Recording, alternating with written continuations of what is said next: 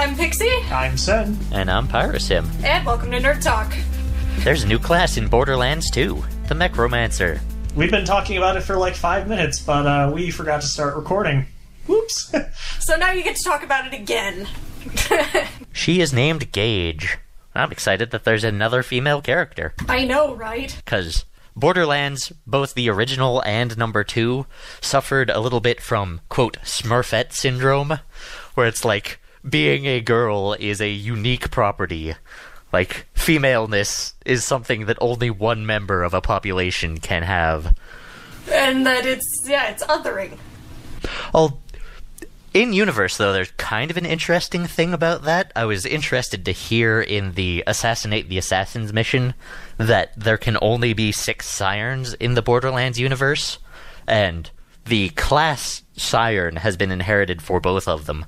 But that does not justify why there's not a female, you know, lunkhead or gun user or what have you. well, now we've got one. So we've got Gage, who's kind of the punk rock mechanic of the Borderlands 2 uh, selection. She has a buddy, and I feel like I'm kind of duplicated as the commando because I have my buddy, the Turret. Uh, What is her buddy? Her buddy is a robot named Deathtrap that she can summon every uh, 90 seconds. I'm not quite sure how long he lasts. I think that's up to how you've leveled your skill trees. But uh, yeah, he can be leveled to either have uh, regenerative powers, uh, shields, have giant lasers that he fires out of his face, or just run up and punch things. However you want to work him. Uh, depending on what skill trees you pick, which there's a, a few options that the game's creators have perhaps misspoken in uh, labeling, but the uh, the tree called Best Friends Forever is a skill tree that is specifically designed to be newbie friendly.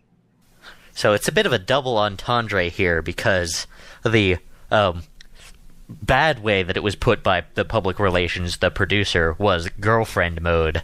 And so I assume that this tree uh, specializes in making Deathtrap stronger. Yeah, it, it makes Deathtrap basically do all of the work for you. So the double entendre is that the best friend is if you are less skilled at the game, then this is basically the easiest skill tree. You'll Yeah. have the least difficulty getting through the. Well, with this one, you can basically just summon Deathtrap and then follow your friend around. And Deathtrap and your friend will do the majority of the work while you're contributing by having Deathtrap there. So allegedly, it would be good for amateurs in a multiplayer setting. Yep. And you, you don't have to bring down the hardcores by being bad. But likewise, uh, Gage seems to be interestingly designed because she also has what's been hinted at as the hardest skill tree in the game. Uh, the Ordered Chaos skill tree, which is specifically designed to consume stacks of uh, of the different elemental powers. Stacks? Uh, Yeah, if the she- word stacks comes into play, then you know you're dealing with tryhards. Well, she actually creates uh, her own resource called Anarchy, which goes up as you fire your gun. It increases damage, but lowers the accuracy. Alright. So that sounds like it might combine crazily with the um, particular weapon manufacturer whose guns get more accurate the more you fire. Uh, that would be Hyperion. Hyperion, who encourages you to use all of your bullets.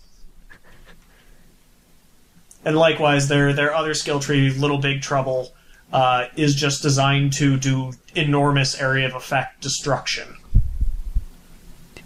So, I am definitely going to switch to this class immediately, and because of that, I am kind of happy that I am playing the PC version because I don't either have the time or interest to grind through the first 15 levels again. So, I'm gonna be honest, I'm gonna roll a level 1 Mechromancer and memory edit her to be level 15 and blast through the low level content. Um, but I'm glad I'm playing on the PC for two reasons. Because I can skip that, and also I didn't get my save deleted. Yeah, apparently Xbox Live users have been having problems with that. Best of luck to you guys. There's some bugs in this patch um, that can have symptoms randomly, and this seems like it's not happening to everybody or even a large portion of the population, but it can have side effects such as completely deleting your character, um, simply resetting your skill tree but giving you the skills to distribute, so a free respec, um, or just taking all your skills and not giving them back to you, so you get no skills. or things like deleting your golden keys. So maybe you pre ordered and this patch, just because it was buggy, took away your pre order bonus. Yup. Um, so those of you who did pre-order will be receiving the patch for free. Uh, also, anyone who bought the collector's edition. However, uh, as a, a nice bonus, those of us who didn't pre-order, myself included, um, if you do buy the DLC for Gage, you will then have access to the yellow guns that pre-order players started the game with, as well as the key that's just included in the content. Oh, that's nice. Um, huh. I feel like I want an extra golden key for this because You don't feel special anymore? yeah, I mean, like I'm I'm the golden boy, and you're giving other people golden keys that I I cannot have no matter what. Well, I paid ten more dollars than you, so yeah. Yeah, but I pre-ordered. Uh, I also don't actually feel bad about it because I have a memory editor. and so I have 99 golden keys. All of the golden keys. So, can you only use the golden key once per account? Is that what it is, or is it every Uh, time you, you start can- a character? You can they only use it one? once. It it gets consumed by opening the chest, and then it is done. Right, that And is then- the cost of opening it. So, when you open the chest, is does the item like scale to your current level? Like, is Correct. it worth? Yes. So it's worth waiting to open the chest until later in the game. That is Yes. the whole point, except basically nobody knew that, and so a lot of us wasted our keys by opening it because we went, oh, a chest, and we've been condi- conditioned by the game to just open all chests. There's the only indication that a chest will consume a golden key is it'll the pop-up that says open chest has a tiny little uh, one key logo next to it. And there's no confirm because the general gameplay in that loop is that you just go tapping the activate button constantly. There is that is the only time in the whole game that something will be in front of you that you don't want to hit activate on.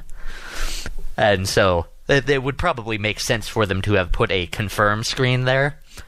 But again, no skin off my back because I have 99 golden keys, and the way that works for me is that I can open the chest, and there will be probably like two purple items in there, and I'll pick them up, and then the chest will close itself again.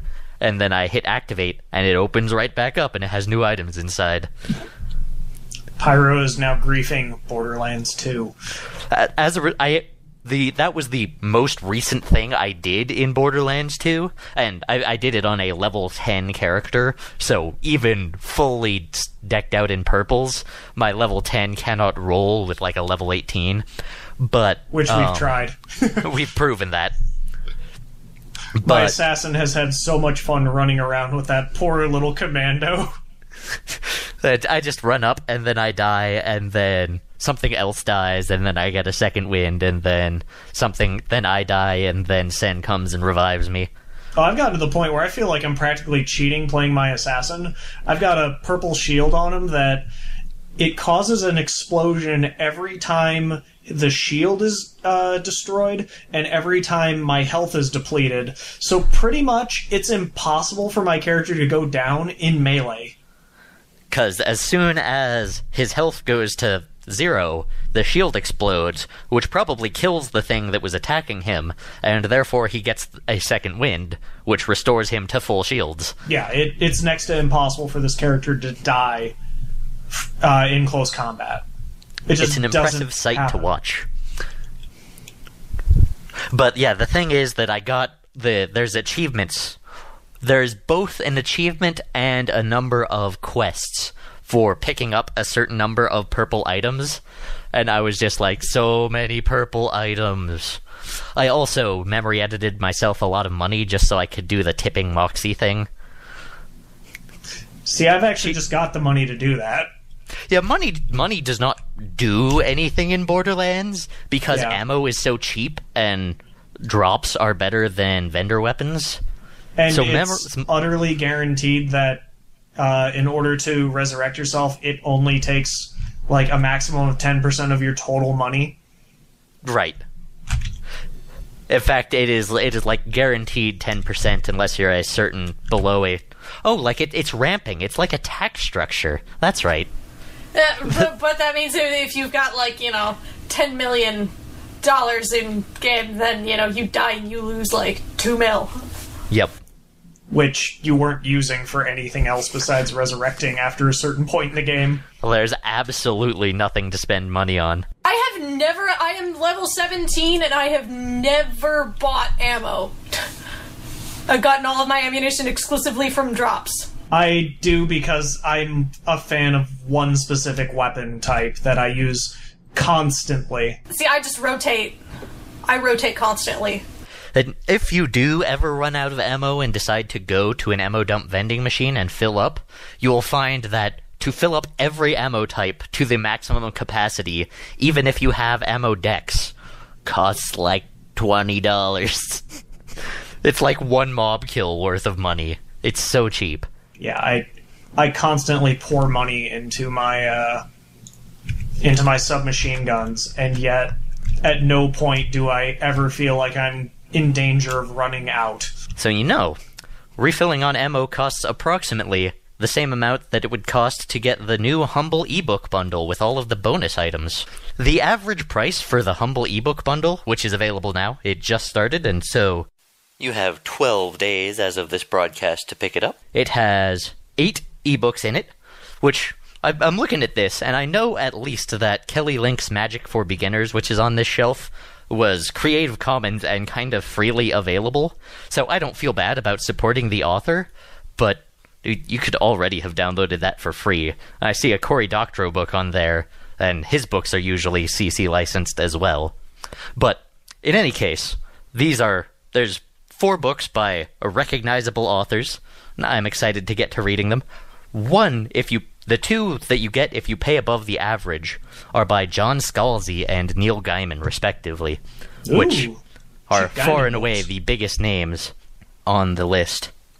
I'm interested that the bonus level, which is the average donation amount, is just about $12 right now, which is kind of way higher than it has been for any of the game bundles. Uh, by right now we mean Tuesday night when we're recording this, but Right. so right now when you're actually hearing this, it could be more or less. You will see when you go to donate what the threshold is to get the bonus books, but it is strange that it is way higher than it has been for games, because books are relatively cheaper to produce. I love how Wil Wheaton was outbidded by his own clown sweater by one cent. That's pretty awesome. The first humble indie bundles were characterized by bidding wars between Notch and some random person on Twitter who, like, I followed because of his bidding wars on the humble indie bundle. And then it was like there was nothing interesting at all about him. He just had, like, $8,000 to throw at this. Like, oh, well, okay. But people can put anything they want in that top contributor box and or in the name to associate with the contribution box, and as a result, it's a funny leaderboard to watch. It also seems they kind of haven't updated their architecture because donations are still split up by Mac, Windows, and Linux, which are kind of irrelevant to the fact that you're buying books and not software. But it's there. But yeah, this is really cool, and this is the first time they've done this with books. They've always done it with games, and so this is a really interesting new direction. I, I'm anxious to see how this turns out, and hopefully it generates the same kind of buzz that the video game once did, and then we can get more books out this way. And hey, we like reading. I like when other people read. Absolutely. And one thing I am most most fascinated about here is the fact that these are DRM free, which actually matters like in a way more substantive way to the average consumer for books than even for games because uh, there's two major e-ink reading devices on the market right now and I believe Sen has a Kindle, and I personally am in possession of a Nook simple touch reader. And as a result of that, I buy my books from Barnes and Noble, And if, say, the Kindle Paperwhite came out with a super high contrast screen, and I'm like, yeah, I want that high contrast display, I can't get the high contrast display because I can't put my Barnes & Noble books on my Kindle device. Without, of course, circumventing the DRM, which I, being a handsome computer genius, do, but the regular consumer could not reasonably be expected to do. Books are also sort of a funny place for DRM to still pervade. I, I credit it to the fact that ebooks are the last format to become super popular digitally. Like ebooks in the popular mind are only like four years old. They're they existed before that, but nobody liked them. And so there was a big transition where music got DRM free, uh, mostly when iTunes made the switch. And since then, music has pretty much just been DRM free, and the industry has not collapsed. But ebooks still are. As a result, you have vendor lock in. Not with the humble ebook bundle. Well, unfortunately, books are one of those subjects where people are still polar on the digital versus standard.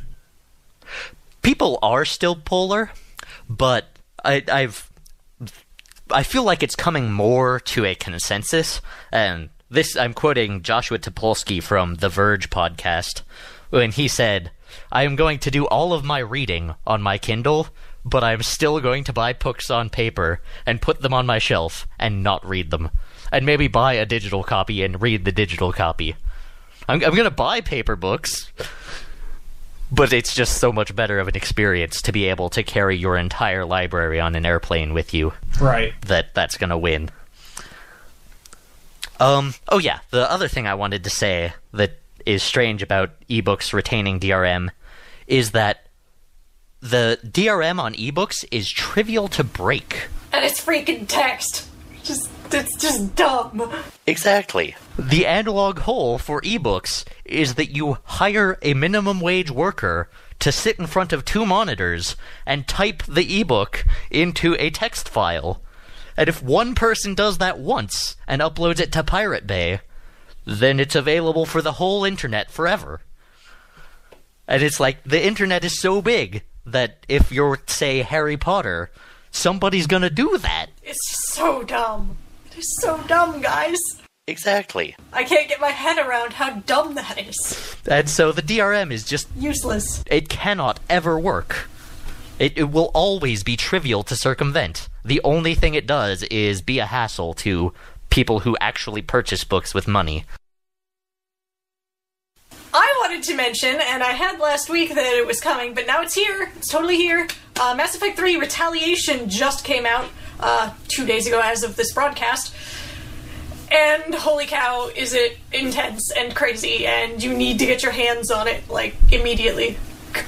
I hear there is a certain heavy breathing race that you can play as. Yeah, that didn't get mentioned last week, but I really feel like it should have because I would have been definitely more That's sold on this because we didn't know. We didn't know Right? until today. I'm not complaining about us. I'm complaining, complaining about Bioware here. Like, why would this you have was a announced surprise. Because it's a surprise. It was free DLC anyway. They didn't need to sell people on it. Please tell me that they don't sprint as fast as the other races.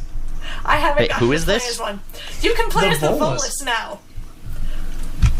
Ooh. The short, heavy breathing, suited race that complains that, you know, if our suits are punctured, we're dead. Because they've got. Well, you know, it happens. I think they're from a nitrogen based Volus atmosphere. are if I remember basically correctly. grunts from Halo. Deep insights. Except they're more intelligent and don't speak in that little whiny voice. True. But they do breathe nitrogen out of suits. Yep, so you've got. Yummy, the yummy Turians, nitrogen. And you've got. Uh, you've got two Turian classes. Uh, Oh, I'm looking Ghost forward to this DLC. and the Havoc, yes. Um, those are playable character classes, and then there's there are a couple of Volus classes. One's a biotic and one's an engineer. I don't know what the names of those are, but Definitely not as cool as Mechromancer. Calling it now.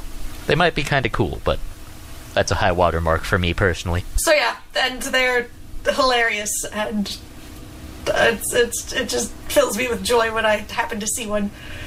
Doll.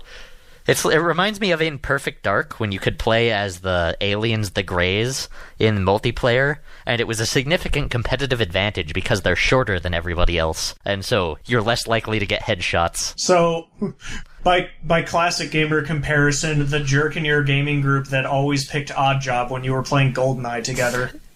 Exactly so.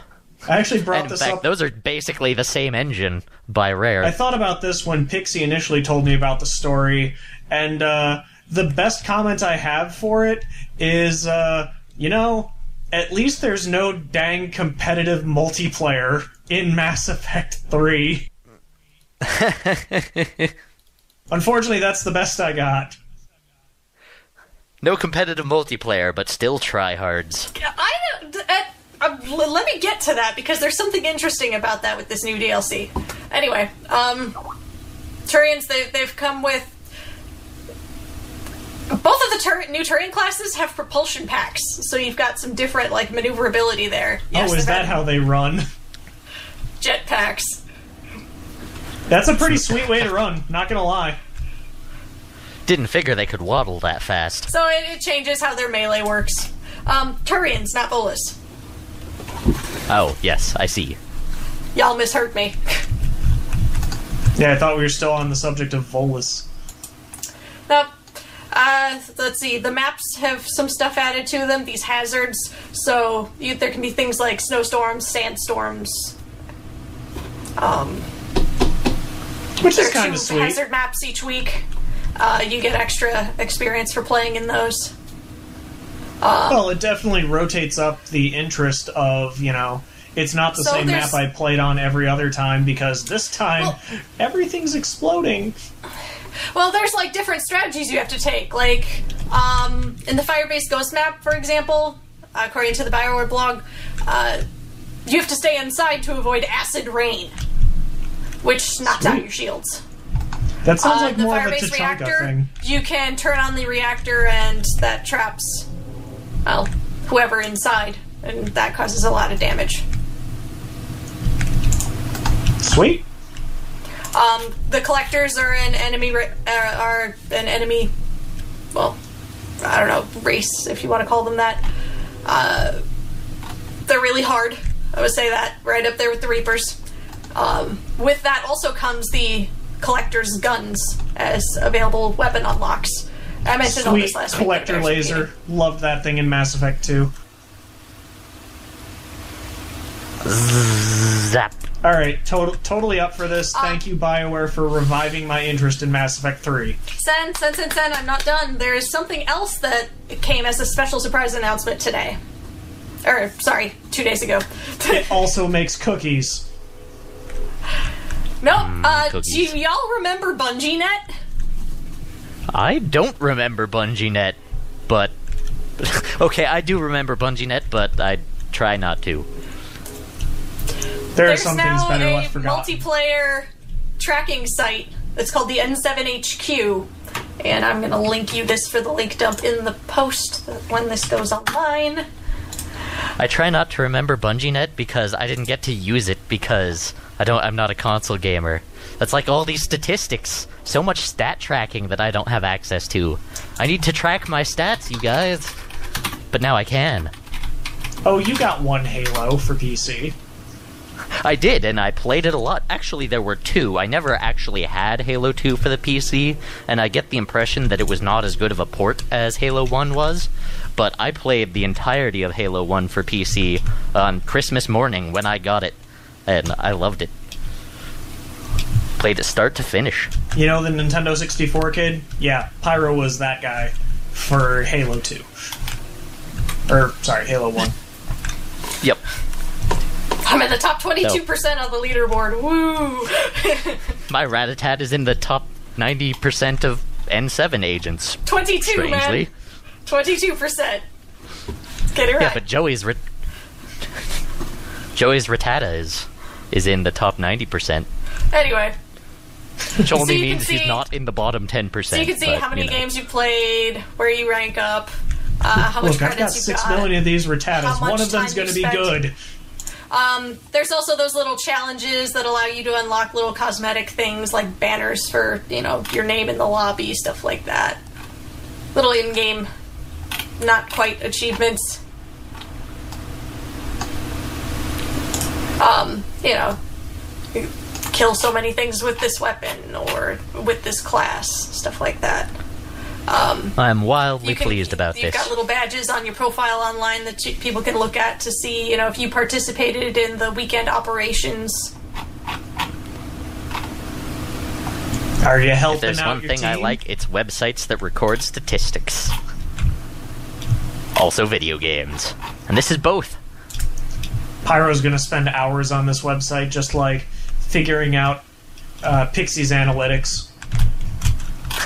Just doing math. Doing, you, finding. Can, you can see your achievements from the from the games. Why am I picturing like Farmville levels of, of obsession? Dude, dude, check my Chivos. Please. I need someone to look at these. But I hope this is as well maintained as BungieNet was. It seems that BioWare's been a bit busy this week, because that's not the only release by them. And segue. Star Wars The Old Republic got its 1.4 update, which includes, and this is a feature I am unduly excited about, stateful emotions for your characters. You can put your character into a joyful mood, or an angry mood, or whatever other moods they have scripted in there, and this will reflect in your character's facial expression. And it will just stay that way until you change it Until you're in a cutscene. and I don't believe it is. Yeah, it doesn't affect cutscenes, and it's not a static mask. It is actually a set of facial animations. So your character will just walk around scowling at things and snickering and being all murph murph. I, I just want my Sith to always be walking around laughing, like regardless of everything That's else that's going on. Pretty interesting. Just- I knew about a lot of this ahead of time because I tend to read these things more frequently. He just finds everything super hilarious. He just laughs in the middle of a fight. The other thing that I saw in the email is that they're telling me to resubscribe now so that I will get my subscriber bonus of cartel coins. So apparently it's still not free to play. I've kind of been out of the loop for a little while. Yeah, I kind of expected that to have gone through by now. Yeah, at the launch of the free to play option this fall, it says. But they've been saying this fall, this fall, this fall. Guys, it's fall now. It's we're already almost halfway through October. I know it's still like 90 degrees at 5 p.m. in Las Cruces, but it's it's fall. But it is scarf weather where we are. Yeah, there, there's only like eight and a half weeks left in the semester. Uh, I've got nine weeks. I have 67 days, and I've been keeping an active ticker. He's been counting all of them. I actually have received some insight that makes me think the Old Republic will do pretty well when it goes free to play. Because I have had fully three people on the streets ask me if I am going to get into the Old Republic when it goes free to play. To which I respond, hey, I was in when it was subscription. Right, I've already got a level 50, sucker. Exactly that. But the question indicates that people will probably try and play it once they don't have to pay for it. No, I, I genuinely think the Old Republic will become popular again as soon as it steps down to free to play. Like, I do not doubt that for a second. Well, that is quite likely. Because And- Guild Wars 2 is actually doing very, very well at the moment. Because people are like, what, you mean I don't have to pay every month for this? Great, I'm down for that in a heartbeat. Uh huh. Judging by the number of special weapons in Mass Effect 3 and the number of skins I've seen on League of Legends, once people are playing a game, they're more than willing to drop money on it. Are you kidding? Just those things? Play a game of uh, Team Fortress 2 and count the hats. Th- that is very true. Hats in Team Fortress 2 Hat are just an enormous economy. source of revenue for Valve. They are a significant source of revenue for the company that runs Steam. So, that's a lot of money. Hats! And whoever came up with that idea must be rolling in it. The official statement from Valve is sort of we do not understand why people keep buying hats. We don't like we get don't it. get it. We don't care But- to get it. We just like it. With- As long as you people love hats so much, we'll keep making them, I guess. But believe us, we have no insight into this process. Yep. So, maybe this will do financially well for EA and BioWare, and maybe that will make the doctors feel a little bit better about all the hard work they put in. We miss you guys. Yeah, did they solely leave just because of the disappointment over uh, over the Old Republic? I mean, that game wasn't a failure. Dr. Greg indicated in his resignation letter that he had not seen his family in a long time, and that this particular project had taken him away from his family for longer than he wanted, and so he was going to spend more time with them. I see. Well, best wishes to them what in whatever pursuit they may be uh, undertaking. All right, what else we got? Do we want to talk about the League of Legends finals and that debacle? I know nothing about this, so you can go right ahead. Okay, so the League of Legends playoffs, uh, day three was Wait, supposed to be I held think last I remember Saturday. something about that where they had to move them, but I don't recall why. They had to call them off because they were uh, having constant disconnections, and rumor has it they were being hit by like uh, denial of service attacks. That would explain why when we were watching, you were listed as the only person, and also the stream was hiccuping something fierce. Right, like they were having genuine bad times trying to run these events. And we witnessed that This is- firsthand. This is dark cynicism on my part, but in light of the uh, sort of gambling malfeasance um, undertaken by Team Dignitas, I wonder if this is more malfeasance by the teams involved, perhaps trying to minimize the popularity of competitors or something. Uh, I wouldn't. Who I wouldn't go who that far. would be DDoSing Riot streams? Why would they do that? Well, it wasn't the streams that were getting interrupted. It was the That's pure actual. speculation. It, it, Oh, it, it is wild gonna speculation and totally that, but no. unfounded, and I don't believe it, myself. It wasn't the streams that were getting interrupted. It was the actual event. Like when Riot hosts League of Legends tournaments, they're not hosting. Uh, they're not like doing LAN play and then broadcasting it. They're actually still running the games off of their servers. They just have the players in one location. I know it doesn't make sense at all. Uh, the I guess the reason that would be is simply because it is technically difficult to develop a new architecture for your program. Right. But at the same time, I'm really disappointed that the that they don't have a dedicated server system behind the scene simply because I hate latency like with a passion.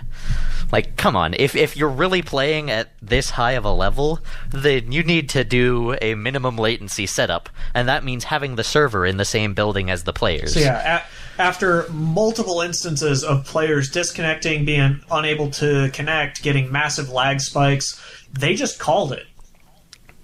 Uh, so day three has been, uh, as quoted by Riot, postponed to be broadcast from a secure location. It's gonna be an underground bunker? Basically, uh, and they will crazy. live stream it out to people. But yeah, I, I'm sorry, but with a two million dollar prize on the line, you need extra security. Right. J- just saying. And that kind of money is what inspires my like cynicism and wild speculation and slander. I'm just Not that not that I I just had a minor I didn't name anybody out in particular that might have been doing that. I was just saying. Dignitas did the thing prior, so maybe some team is involved in this. Well, the other uh, day I got on League and was like, "What the? Kha'Zix is still new. I haven't had a new champ in like four weeks. I'm getting twitchy." By which he means he's going to play the the rat man who ha- who builds attack speed and does poison damage. Twitch. who's been strangely popular in games lately. I've played against a number of Twitches. Maybe it's just because everybody else is getting twitchy from the lack of new champions. Need new champs. It, it's weird, genuinely thinking that a champ that's four weeks old is still the newest dude. Like I'm, I'm Yeah. not used to this. But still, So this news I will give credit to Riot that the recent batch of champs they've released have all been intriguing and unique. Like running back, Kha'Zix is cool because he's a jungler that is aggressive with his uh, AD moves and still uses mana. Rengar has his really cool hunt mechanic and gives you that like jungle predator fantasy. Um, Syndra is basically Orianna 2.0, but has unique mechanics all uh, to her own and has a cool personality. They've been really spot on with their champs lately. There, there hasn't been one that came out that I'm like, oh, another bruiser or another mage. Is nice to see some variety for sure. Right? So, this is a bit of an old event, but I'd like to mention it in passing. Uh, Resident Evil 6 came out at the beginning of the month And has been Two. getting panned. to deafening criticism. Everybody hates this game, effectively. Yeah, Um, I have not read a positive review of this thing yet. And it's kind of So- sad, to be honest. Yeah, I, I would have hoped that it was good. I played um, a fair amount of Resident Evil 4 and 5 on consoles in a friend's dorm room um, over the course of basically my college career. And I wasn't a huge fan of them, but I, I enjoyed them when I was playing them, certainly. And to that end, I would like the next game in the franchise to also be enjoyable to play. It does not seem that that is the case. No, it genuinely feels like Resident Evil 6 wanted to be a big time action movie, but I hate to tell them, but Resident Evil, you've already got action movies under your belt. And I'm not talking about the uh, Paul W. Mila Jovovich yeah, I'm not talking about those. There is an entire series of animated Resident Evil films that basically do the job of Resident Evil 6. Like, Resident Evil Degeneration, it was a bad movie, but it was Resident Evil. It felt like it. I, I have a bit of a dark confession, which is that I kind of have really enjoyed the Mila Jovovich Resident Evil movies. And I'm not sure that anybody could accept me or love me now that I've admitted that. That's But- on the internet forever. In fact, we have to destroy you now. It's part of the policies.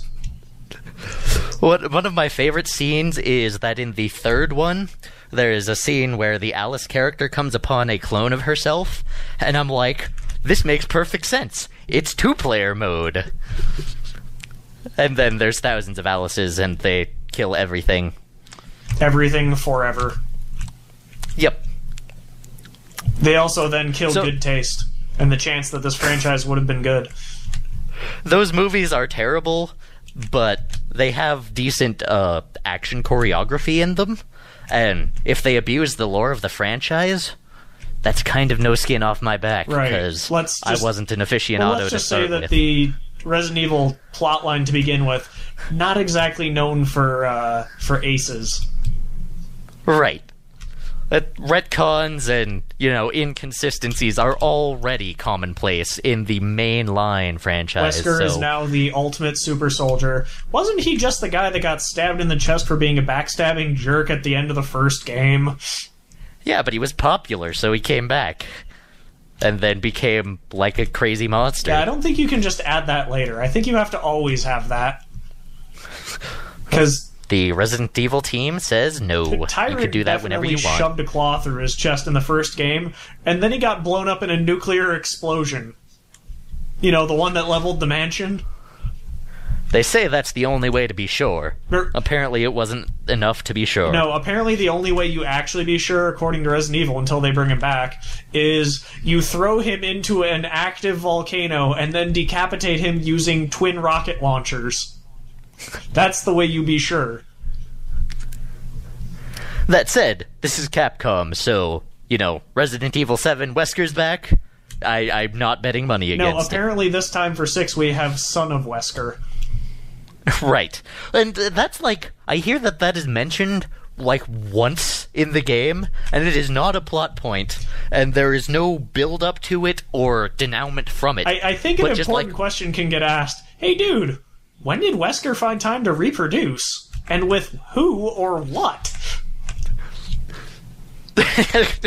Those are valid questions. One that Resident Evil 6 does not answer. Does not bother. So, Sen, I hear that you're old enough of a man that you remember the XCOM games. Nope. Okay, he's changing his story, folks. I He's old. I have never once played an XCOM game. I had heard of them as that ridiculously hard franchise that you can never win. I I am old enough to remember Crusader No Remorse being a new game. I got very excited about that because it's like, oh my god, live actors and animations. This is the coolest thing ever. Like I remember that. I suppose I have no real ground to talk in this situation because I have very fond memories in my childhood of playing Wing Commander Privateer, Yeah. which is a game that came out in 1992 when I was two years old, which I probably did not play it at that age. I played it later. But XCOM, the original, came out in 1996. And so if I could play Privateer, I could have played XCOM. Yes, I But I didn't. I have never played XCOM. That said, looking at XCOM Enemy Unknown, which came out this last week, I'd give it a shot if it wasn't That's- full price. And yes, that is. I have a very, very short list of games that I am willing to purchase for full price, and the only ones in the foreseeable future are Assassin's Creed 3 at the end of October, or maybe. It, if, if things go terribly wrong for me, the end of November, because Ubisoft kind of has a problem with releasing PC games simultaneously with their console counterparts. Right. But Assassin's Creed 3 and SimCity next year. And those are the two games that I'm willing to pay $60 for. I could see myself throwing down for Dishonored at full price because it's basically like, hey, buddy, let's take two of your favorite games ever and combine them. Yeah, when I read Deus Ex in descriptions of that game, that certainly perked my ears Right. up. Let, let's take and combine Deus Ex and Thief, the Dark Project. And I'm like, oh, I need a change of pants. It's like, Well, you've sold me on the concept. really? You're gonna combine those two on me? Oh, I'll get my wallet. I, I th- you have not sold me on the concept for sixty dollars, given the caveat that I can guaranteed uh, wait until the Christmas sale and get it for thirty to forty. I know. I'm gonna wait. That and I've got way too much that I'm playing right now, and I technically have like 90 pages worth of papers that I have to write before the end of the semester. Well, yeah, that too. I have more games in my Steam list than I could possibly play in the next two years if nothing else came out. But let's ignore those little details and just hoard like hoarders. Yeah. But digital hoarders, so it doesn't ruin your life. Uh, you know what else came out this week? What's that? Uh, Sunday. Let's see, that would be October 7th. Pokemon Black and Pokemon White 2 were released Ah. because Nintendo does things on Sundays, unlike everyone else. Uh, so I've picked up a copy of that. I have not had a chance to play it yet because when I went to do so today, my DS was dead. So 3DS specifically. I hear there's not terribly much to do with a 3DS. Uh, no, it's Indeed, still an I hear that paperweight. Pokemon Black and White 2 are not exclusive to the 3DS, and I'm a little disappointed by that. Nope, they certainly aren't. In fact, I'm holding the box right now. It just says Nintendo DS on it. Not even not even an eye. It doesn't even need Can, cameras. can I do an idiotic news story to uh, complement this one? Sure. So, in their usual fashion, PETA felt the need to get in with the Pokemon Black and White 2 release and have released their own version of Pokemon cards. One that actually has Ash Ketchum dressed as a pimp. and has like Okay. battered and bruised versions of the Pokemon uh, that if you complete their little like game that they've got, actually has downloadable printable versions of their cards. So, thank you, PETA. Thank you for always providing something hilarious along with your stupid backwards messages. Thank you, PETA, for making people who support animal rights look bad by you are really stupid. Let me explain to you a concept that fiction and reality are separate things. But I'm sorry, one of my favorite wallpapers that I've got is still the cooking mama, mama kills animals picture with like the demonic eyed mama holding a dead chicken in one hand and a knife in the other. At least that like has Joy a in your connection. voice is a little disconcerting. I'm sorry, I love these ads. I love when PETA does this. They're like, you're taking this game way too seriously, PETA. Yeah, Knock in a it way, off. it You're is kind of amazing. silly. How like crazy these PETA marketers have to be to think that they're doing a good thing for themselves. Like, this is the same thing they did with the Mario wearing the bloody Tanuki suit, because apparently that's fur. Right, and Super Meat Boy Yeah, having the Super Tofu Super Boy. Tofu Boy. Like, PETA, you understand these are fiction, correct? They're like, Like- real animals that you could be helping by euthanizing, you jerks. the protestation about Cooking Mama, at least in that circumstance, that has something to do With an real actual life. behavior that humans do in real life. With Super Meat Boy, it's like this is nonsense. It's It's, this it's is for all not those like people who buy like tons of meatloaf and roll around in them um, to emulate And throw it. I them into know. walls to make red smears. I know, I played Super Meat Boy this weekend, and it was totally being cruel to animals. Oh, wait, there's no animals in it. So, another game that we all have copies of and have not had a chance to play yet is Torchlight Torchlight 2. 2. I disagree. I played 15 minutes of it on uh, on Saturday morning. And I'm going to have to interrupt Sen here because we have to take a break. But at the top of the hour, we'll hear more about Torchlight 2 on Nerd Talk. And we're back with more on Torchlight 2 here on Nerd Talk. right now.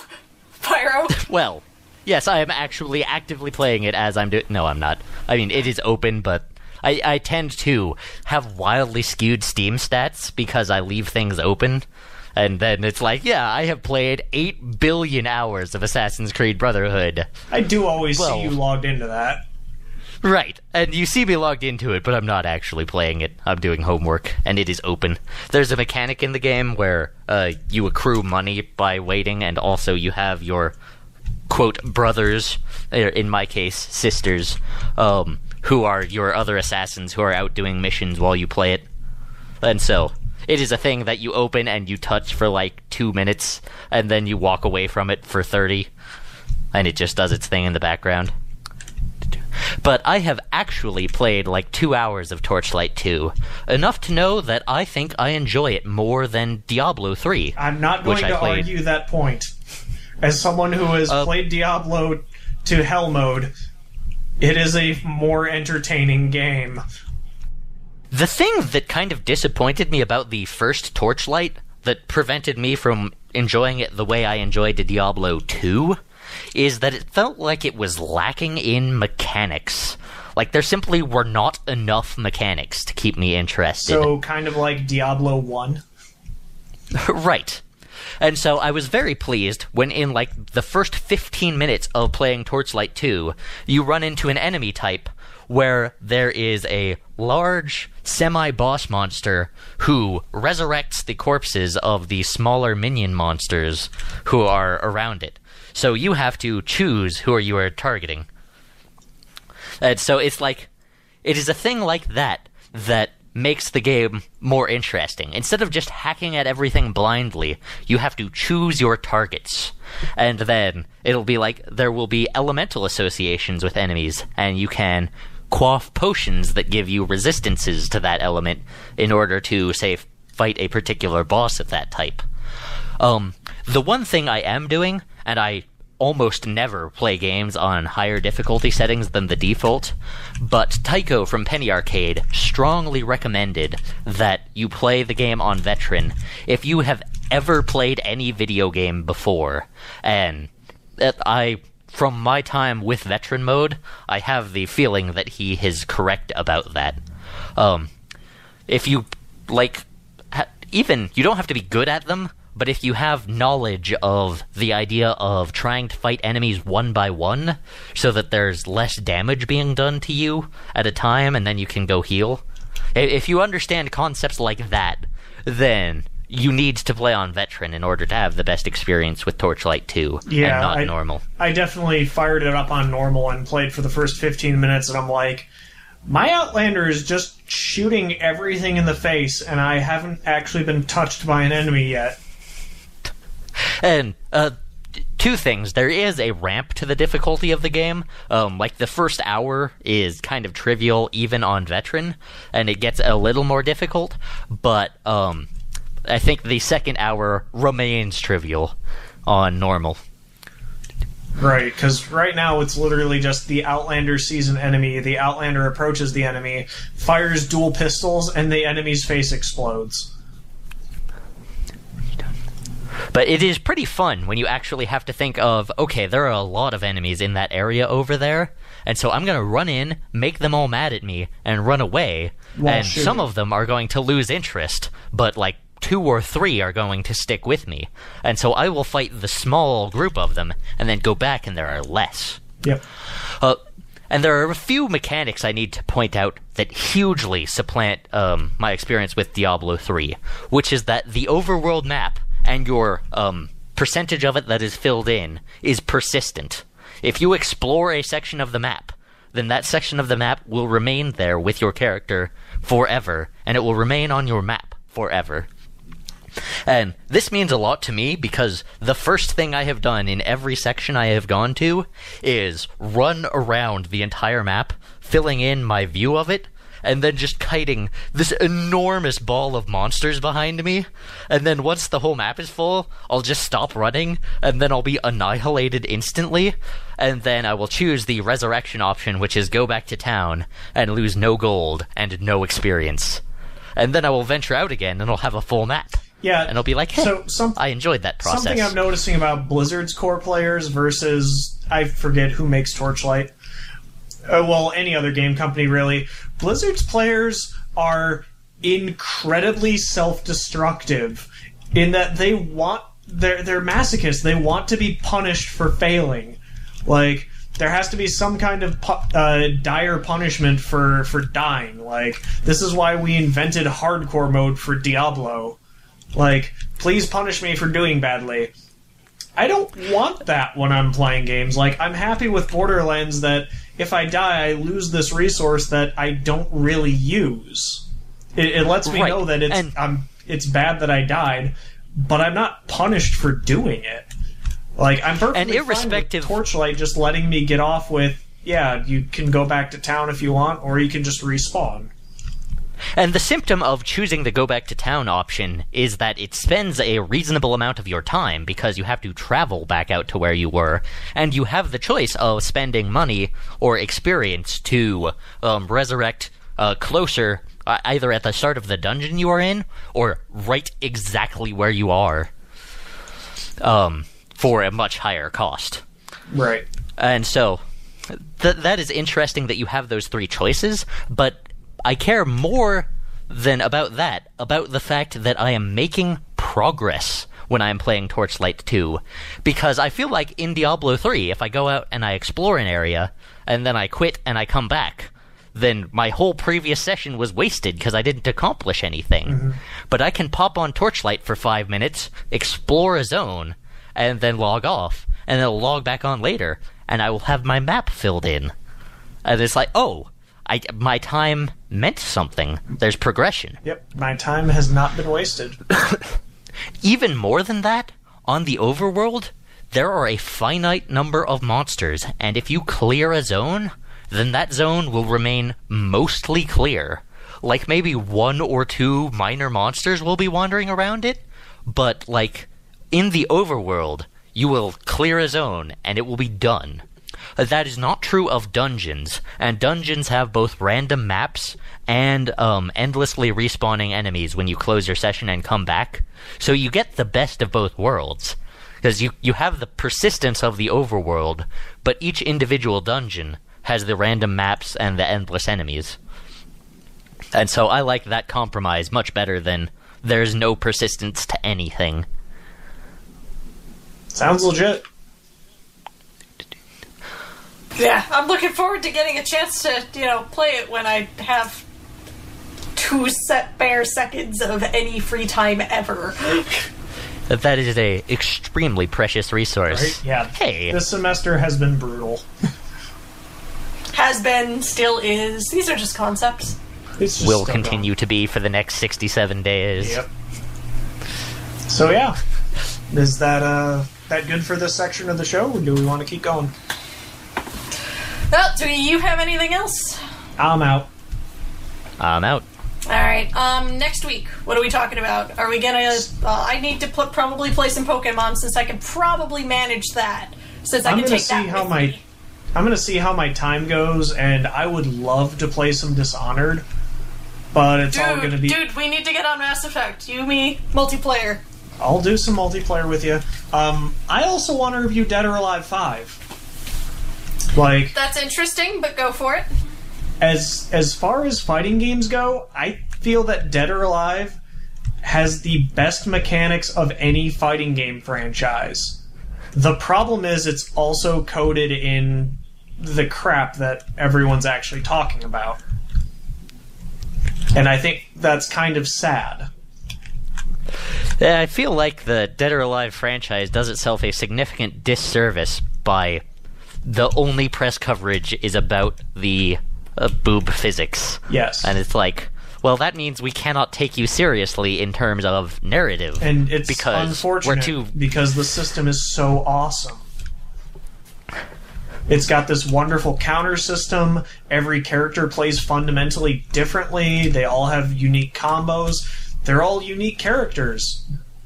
But all we ever focus on is jiggle physics and how much clothing the characters aren't wearing. And to be fair, in the public eye, that is kind of all the developers ever focus on too. And that is an even bigger shame. yeah, And and hence so why my tournament fighting game of choice is Marvel vs. Capcom 3. Well, let's take the high ground as press on this and simply condemn this in one sentence, and then actually concern ourselves with the rest of the game. Right. Because enough other people have talked about the jiggle physics. Right. So that will be next week, maybe. Possibly. Depends. I have burning questions about the multiplayer of Torchlight 2. We haven't had a chance to do any of that, but that is at least something I, want to touch start on. by asking what character are you playing, Pyro? I am playing as an engineer. Okay. Isn't that a melee class? Um, well, the way my character is built, and there are of course three skill trees, as there just have to be in any game apparently, Right. is for strict durability. And so I just I just stand there and survive. And um I have a move called like Shield life. Bash that does damage proportional to my armor. Much like life. Thank you, Pixie. I was like life, life. Life is all live. about doing damage proportional to your armor values. In the meantime, I'm Pixie. I'm Sen. And I'm Pyrosim. and we'll catch you at the top of the hour on Nerd Talk. Okay, so that's a little bit of a lie in that it isn't quite the top of the hour, but hey, we got a late start today. Pyro, are you here? I am here. All right, so you? I'm Pixie, as I've mentioned I'm- about two seconds ago on our uh, on our pre-recorded very portion of the nearly just said that I was Sen. because that's the order it goes in, and so I, if I'm saying the second thing, I must be saying I'm Sen. But I'm actually Pyrosim. Funny how that works out. Gosh, the the difference in mic quality, like going from one format to the other, is insane, isn't it? It is very crazy. Although I got a bit of a gentle start on it because for the latter half of the show, I was listening to myself over the phone connection because I was calling into the radio and listening to the show over my phone. So it's like, yeah, I sounded bad before, and now I still sound bad. All right. Well, the unfortunate truth of it is that I still haven't had a chance to play Pokemon because, well, super busy college student. What do you want? Um, I do have my strategy guide here because I'm one of the dorks who buys the strategy guides and looks at the pretty pictures. And they come Hmm, with strategy posters. guides. Um, so I've been going really through that. like strategy guides. I they are the highest margin item at GameStop, and you might have a little experience with it. That's what they want to sell the most of in order, to, well, that and used games to make their money. And They've they've, got- kind of fallen off in quality ever since GameFAQs.com has thoroughly supplanted them in terms of if you just want a pure walkthrough description of how to accomplish something in a game. But I love some of the artisan and craftsmanship that goes into real nicely produced professional strategy guides. I would even call the Elder Scrolls 3 Morrowind strategy guide, the Elder Scrolls Prophecies, amongst my favorite books.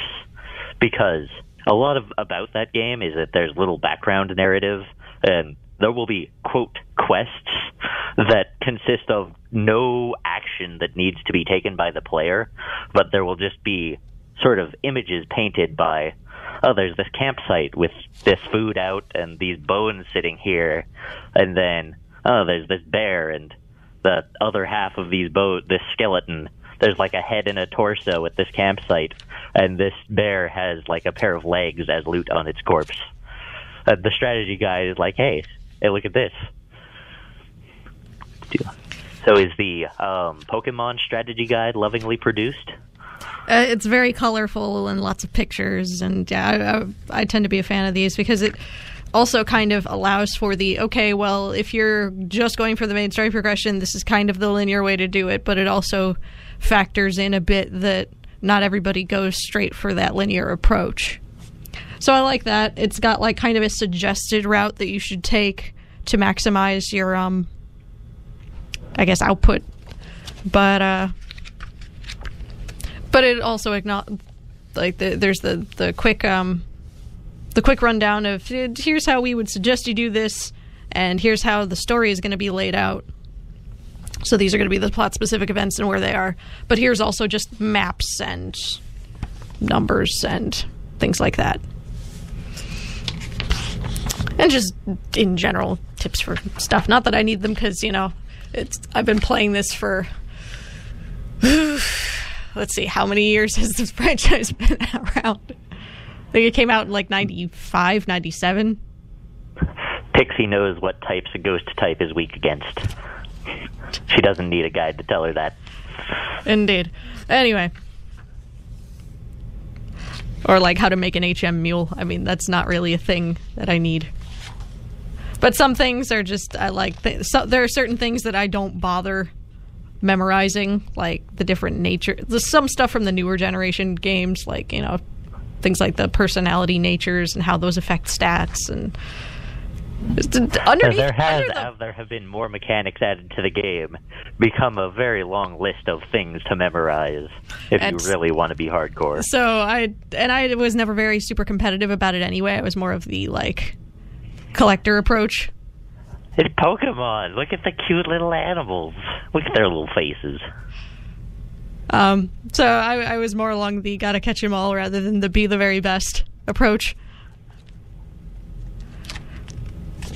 So, for example, It's not hard to be the very best in the Pokemon universe because most of the other trainers don't even The- have well, the mastery of the idea you should be carrying around six Pokemon. Like, and not all, and not six of the same Pokemon. But right. I, I have a full library of different types of Pokemon. I am like the ultimate master. This is just strategy jitsu. However, um, the pe- pe- real players, those are hard. Oh, absolutely. So, and those tournaments are kind of nuts and there's a whole bunch of like i mean at the surface at the very at the very surface level pokemon is cute fuzzy animals meets rock paper scissors under the hood though there's a whole mess of numbers games going on there a whole lot of math I mean- and stats and stuff i just can't be bothered with Even at the the rock paper scissors levels, there's like 40 different configurations you'd have to be able to shape your hand into. You have to be throwing gang signs in order to correspond hand positions to all the different Pokemon types. Speaking of which, I think there's a um, if I if I'm not mistaken, I'm pretty sure there's a um, download event going on this week, or I I know it's this week, but it might be continuing for the next couple weeks. I'm not 100 percent on that. Um, there's going to be another Pokemon available for download at GameStops. You bring in your copy of the game and download it onto your DS from there. Uh, the same way they gave away Victini and like that level five Mew, and you know, in in previous DS releases. So another one of those, those with this new release. Or just very hard to get. They are exclusive. You cannot Ah. get the these Pokemon in game. It's you got them via download or not at all. Better get to a GameStop then. So I'm gonna have to do that. I'm a little bit depressed that I haven't even had a chance to play a portable DS title, but that is the state of my schedule currently. Um, so this is the first time that we've had a direct sequel to a Pokemon game ever. I feel like, yeah, this is like Final Fantasy X too. It's like super late in the generation, and we're switching up the formula. Is there a narrative continuity between them? That's what I'm trying to figure out. Like it mentions in the very beginning here, it gives you a summary of what happened in the last game. And the characters look a little bit older. You start in a different town. And I but what what throws me off a little bit is that okay, so you had these extra couple characters. You've got the rival that you've always had, but then there's these two like friend characters that you started out with, and y'all got your Pokemon together. And so you've got Bianca, who takes the Pokemon that's weak against yours, and then you've got uh, Cheren, who takes the Pokemon that's strong against yours. And then there's a side rival character here in this game. And the way that comes into play is that Cheren now is the first gym leader that you run into. Whoa. she got good at Pokemon pretty He. quick. It's spelled C H E R E N. Ah. Does he have two gold coins on his eyes? No. He, Dang. he looks a little bit hipster, I'm not going to lie. But Seems alright. It Apparently, it's possible to become a gym leader very quickly. Well, I mean, I don't know what all goes into that, actually. Okay, so I am attempting to find a list of the Pokemon that are used in that first gym. Oh, well, this is annoying. All they did was, you know, take the character's name and character model, it looks like. He doesn't actually have a comprehensive set of Pokemon to go up against in your first battle. So that's a Oh. little bit disappointing. Because he's just got like a Patrat and a Lillipup, both of which are normal types. That seems very unusual since gyms are typically characterized by their type. Yeah, and this one's a normal type. Huh. Has there ever been a normal type Yep, in the last game, Ah, in black, in black and white. So Well, black and white two follows that same formula there. But it's it's weird that they just you know switched who the actual gym leader is without having him take a I don't know.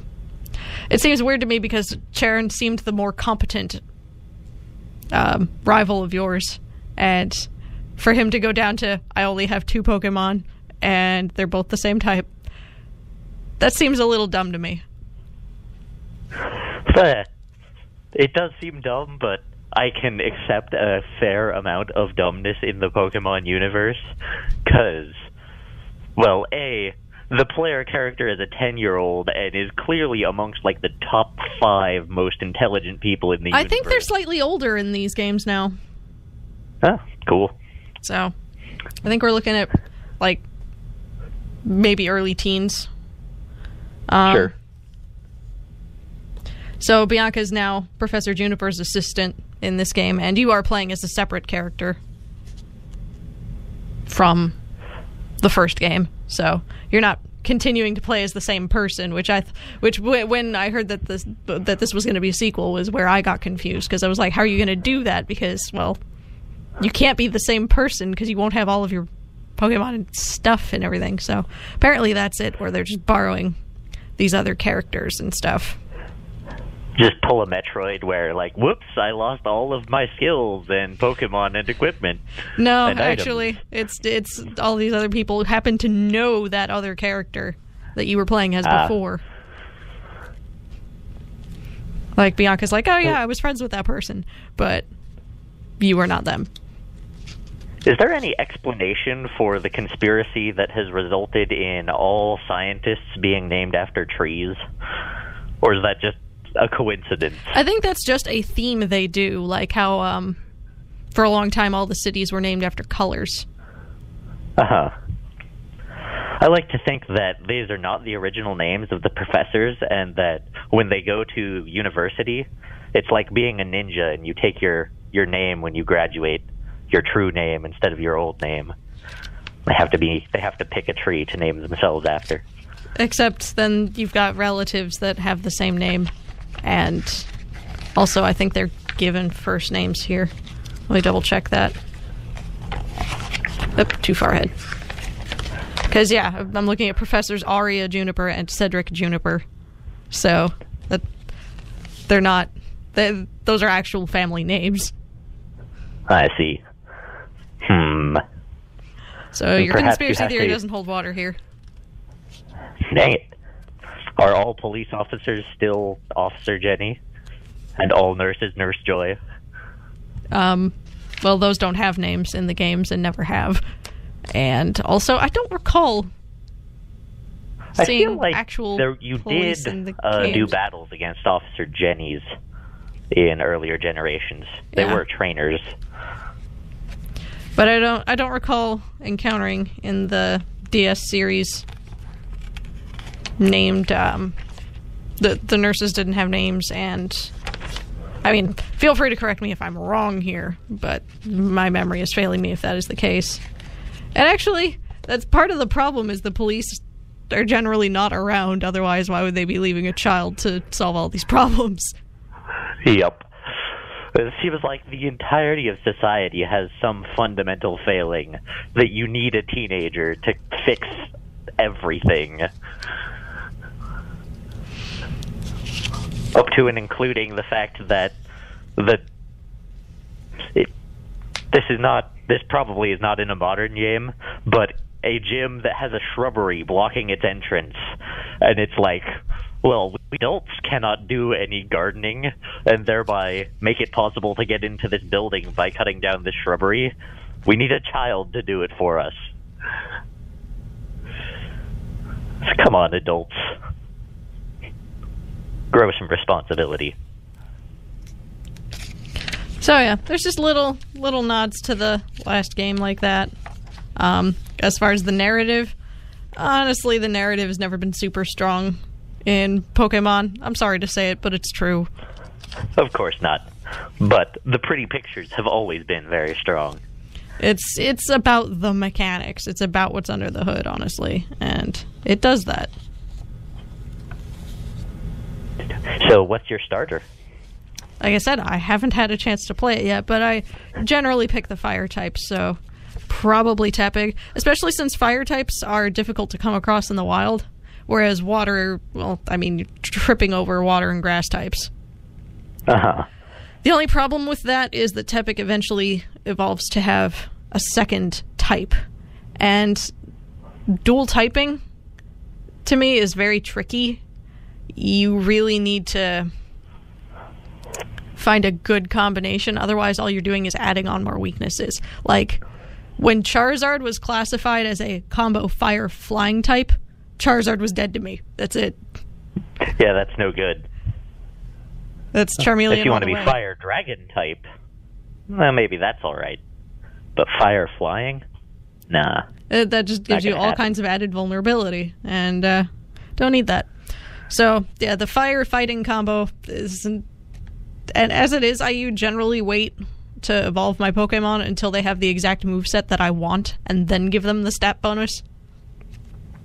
But in this case, I may not involve it at all because, well, I don't. I don't want that extra typing because I don't want the extra weaknesses. Uh huh. You know exactly where you stand when you only have one type. Yep. So, if you.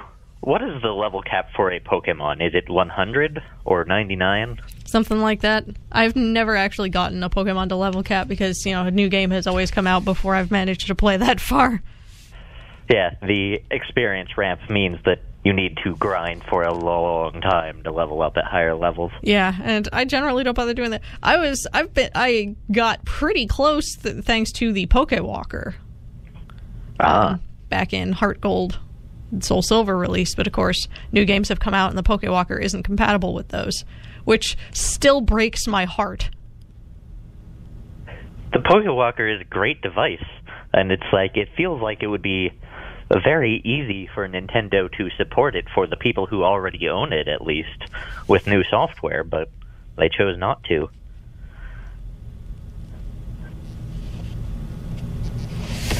The reason I ask about the level cap is I would feel totally comfortable to not level up a Pokemon or to not evolve a Pokemon up to two levels before level cap. But if I got locked out forever, I would feel really bad about that because I don't like making permanent decisions. But if it takes just preposterously long to reach level cap, then that wouldn't be a concern. Yeah, no, it, and it does take preposterously long. Such that I've never actually managed to do that, so I don't really have a problem. And as I've said, I don't really play it competitively, so that's not been a thing that I needed to do. Right. So, I, I saw an image on Reddit the other day about somebody getting sad about deleting their Pokemon save to start over, mm-hmm. and that makes me want to ask about save slots. Are there like three of them, or just one of them? There has always, in the history of Pokemon, only been one. Ever. That seems like a serious deficiency. I they could they could improve upon that, It is you they- save, and when you save, you overwrite your old slot. And if you want to create a new game, you are erasing everything that you had. That sucks. They should add save slots. Indeed, they should add um, cloud saves because This brand Um, franchise has been out for l- more than a decade. I think that you know if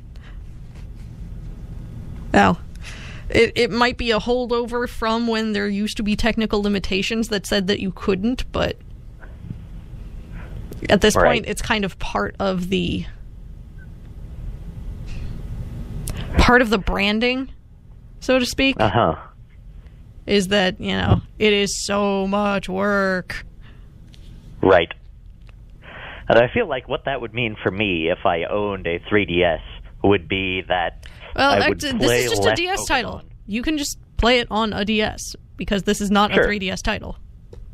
But since the price drop, I think I would never buy a older hardware than I is available because surely eventually there will be 3DS software. I mean, I know there's not much of it right now, but it's gonna happen, right? Right, guys? But, You're not yeah. the one who dropped the money to buy one at, uh, on launch day. It is um, rather unfortunate, but yeah, it, it doesn't appear to be going anywhere. And until some titles come out that are, you know, exclusive and utilize the, the hardware, it's not going to happen. Yeah. And then you get trapped into this vicious cycle where nobody develops for the for the hardware because nobody has the hardware and nobody's buying the hardware because there aren't any there, there isn't any software for it. and you don't even have things like you don't even have things like the PC modding community, which is what helped the Kinect out so much. Yeah. I bet you feel double early adopter burned because I know you really liked your DSi XL. And I have you seen the 3DS XL? And it's like, well, I would trade up for this to get you know that giant screen that I loved so much back, but I can't justify it. I cannot justify software. because there's no bloody software for it. My 3DS has sat basically untouched since. I want to say. Yeah, since Legend of Zelda. That's since the time. since the 3DS Ocarina of Time port. That was the last time that I played my 3DS. I was looking forward to the 3DS um, Animal Crossing, but that's been getting pushed. That that that release has been getting delayed for more than a year now. Yeah, that's hard. Now we're we still don't have a concrete release date. It is sometime in the first or possibly second quarter of 2013. There may or may not eventually be an Animal Crossing game for the 3DS. Is Is basically where I'm at. the state of what we know. Is basically where I'm at right now.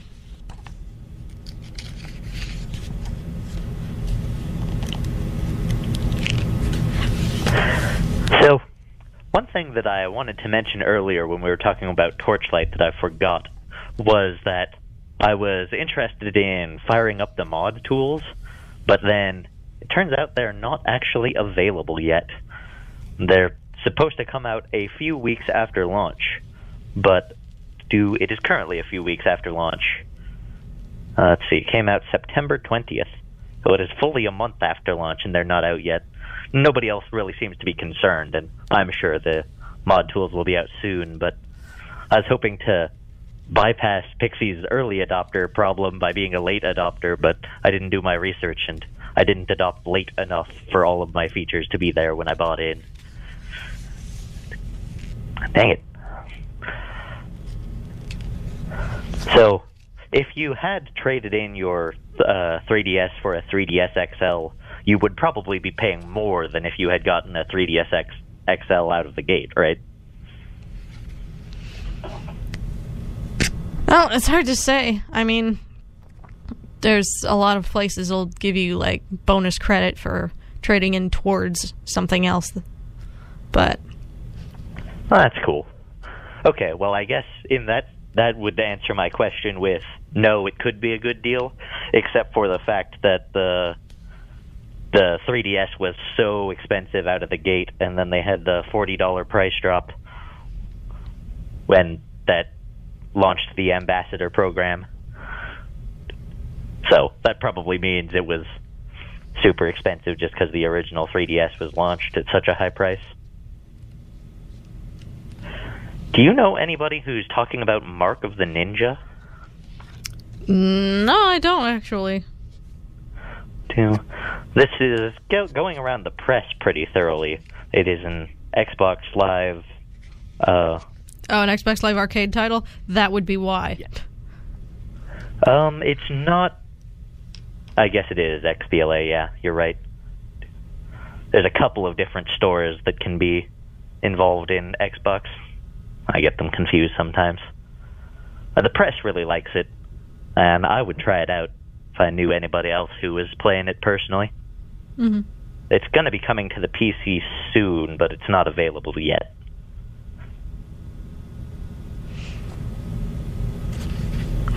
Yeah, I don't know. So, been hitting a bit of a roadblock here. So hopefully I'm gonna well I'm gonna buckle down and actually get my hands on it and be able to compare more accurately the features from last game with this Pokemon title. Um, I picked up Black 2, so I should by next week's show be able to turn up something. So I feel like if there was really compelling multiplayer, then I that would sell me enough that I would get a 3DS. And I would get a 3DS on the prospect of future software and a copy of Pokemon Black or White 2. That I don't feel like there's compelling enough multiplayer. Oh, there's not multiplayer in the specific way that you want it. Right. which is like i mean well, you and i have had this conversation off the air several times but i'm sure we should probably explain it for the benefit of our podcast listeners Ideally, I would like to be walking around with my character model and my multiplayer friend's character model on the overworld while the overworld music plays, and then we can each get into random battles, and then we fight our ways through gyms together. And that is not a thing that exists. There's Nope. no overworld that is multiplayer. i mean there's that like dream world thing that came out with the last game but that's under very specific circumstances and you don't actually directly interact with each other. You're like in like an alternate dimension or a sub layer of your your friend's world and it's it's it's a little bit weird and complicated and I never got a chance to fully utilize it because frankly, again, I, I don't know people still have no idea what it is. Like, and I've read about it, and I've read articles and heard it described, and it's like, yeah, Dream World and multiplayer, but it's still just a vague haze for me. Mm-hmm. yeah no I I feel that way and I've actually kind of used it so there's there's no winning there there really isn't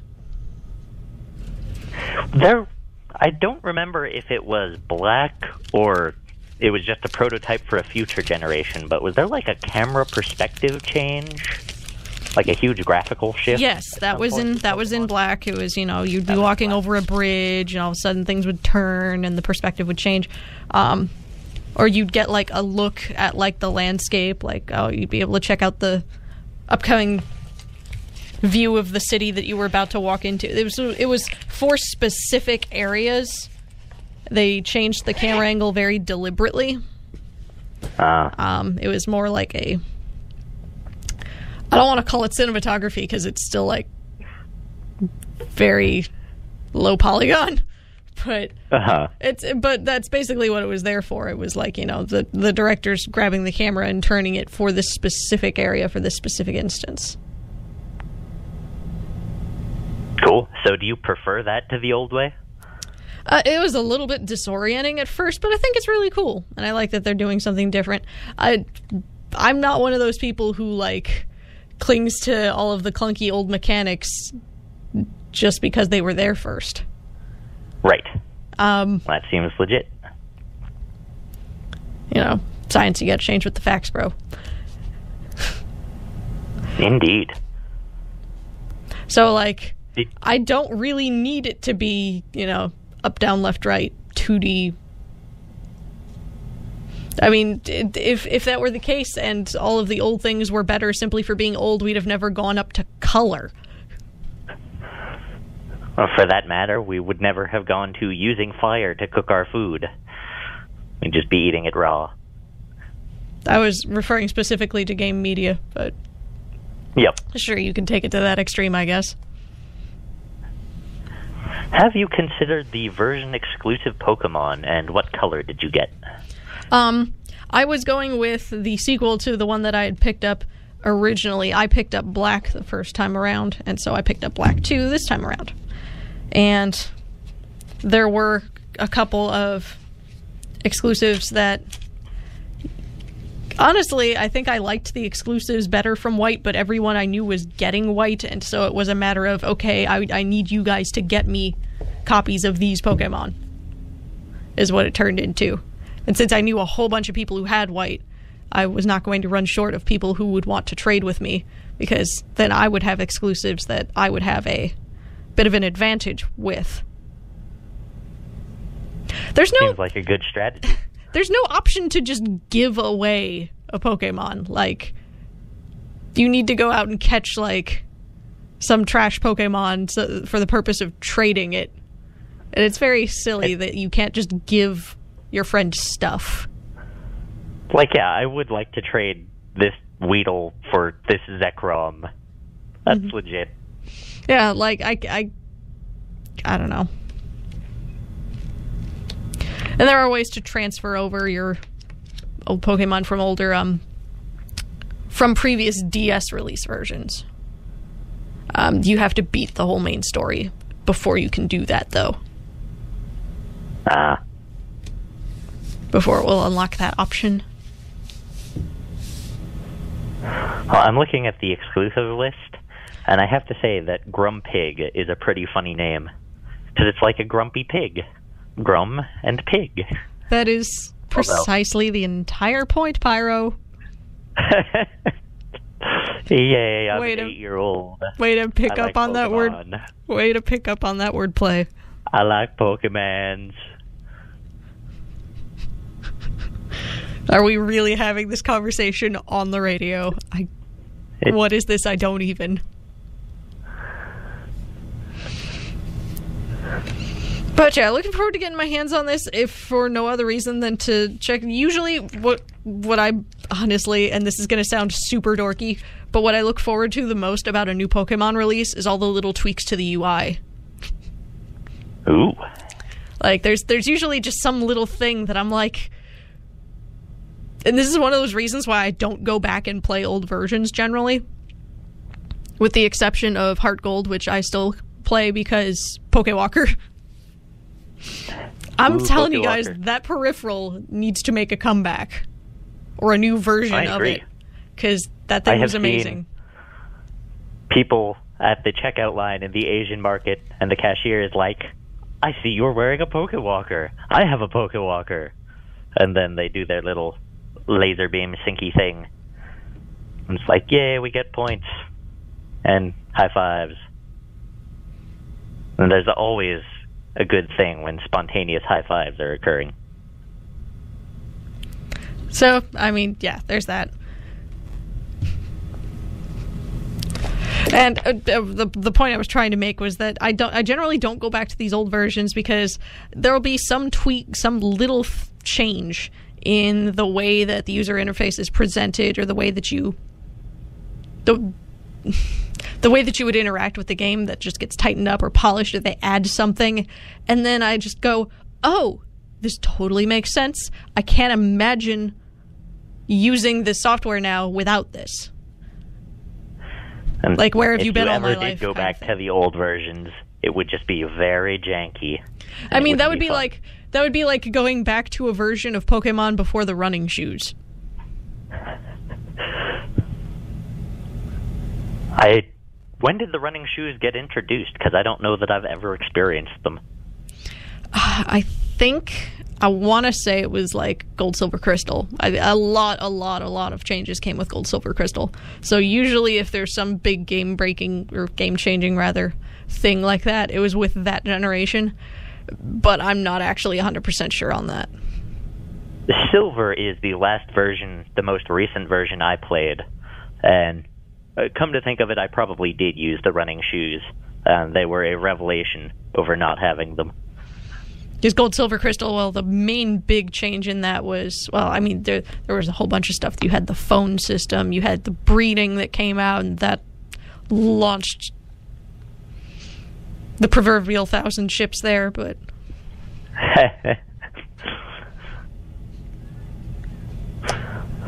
we're, we're just not going to and touch Ditto that. is in half of them.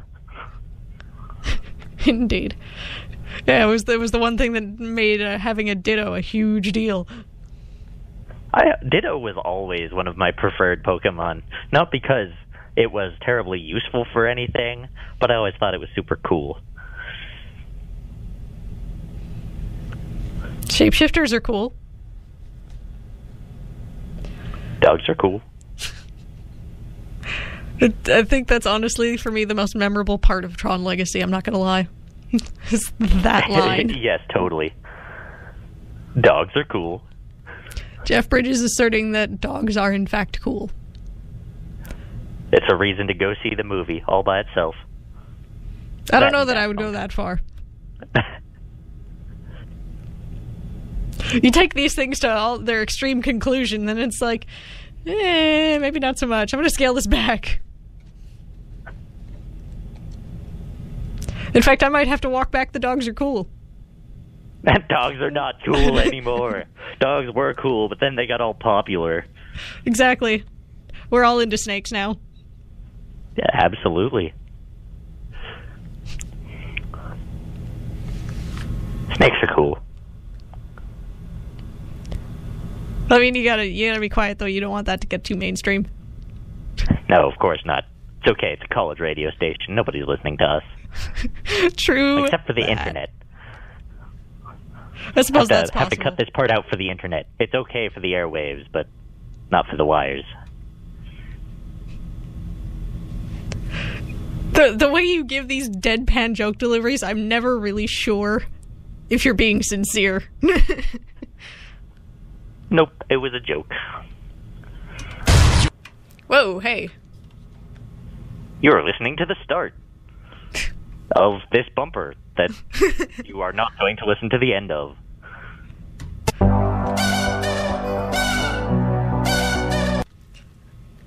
Whoops, Pixie hits a button. Well, I suppose if The auto something DJ is staging a mutiny. it appears to be. Uh, well, I mean, if you don't count on something going wrong, you ain't doing it right, right? So hey, glad to get that out of the way. no, I was just trying to queue up the stuff for our next break. Oh, can't play that song now. it's it's really it's really difficult having to multitask like this, I guess. What were you saying? Speaking of snakes, uh, I would spend an enormous amount of money on a collection of Metal Gear Solid games on a modern platform because there have been various remakes and collections, but I just want all of them, especially now that 4 has kind of concluded the story arcs of 1 through 4. Some somebody needs to put them all in one place so I can buy them and play them. Like all of them going back down to the first one? Indeed. Are we talking You like HD? should do it Are you talking like HD re-release or just like basically just porting them as is? But frankly, I would accept either. Uh, like it's always nice if you get a if you do an expensive um, graphical update to a game, but But that would be And expensive and time consuming, particularly. popular enough to merit it. But that's expensive. It would be expensive and time consuming, particularly for this franchise that has so much of that content. The, the cinematics Right. would need to be, uh, uh, that would just be a huge, huge ordeal. And I mean, there's enough of a market that that might be feasible. And you could certainly charge a pretty penny for it, but at the same token, you could probably just port them as is and still make bank on a what's essentially a repackaging. Yes, and you know what? To bring it all around, if they released a collection of the early Metal Gear Solid games, the relatively low uh, system requirements games on 3DS, then that would sell me on the system. 'Cause that and Pokemon, of course.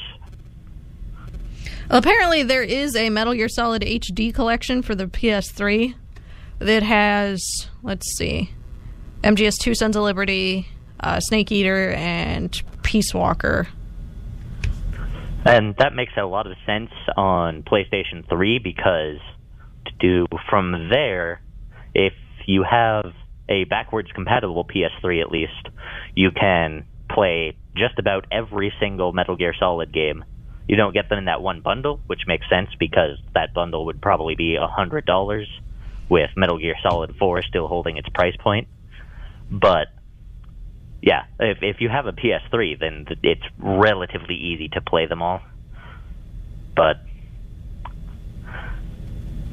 And if you've yeah, and if you've got want to really- and if you've got a backwards compatible PS3, which I mean, good on you. you have do, to have a but- first generation one, yeah, and it has to have not died by now. which is a pretty tall order. Let's not make any mistakes about that. But they did uh, for the PS2 come out with the Metal Gear Solid Essential Collection back then as well. Well, you're in double good shape. and ca- casual browsing of Amazon says that that also includes director's cuts of Metal Gear Solid Substance and Subsistence.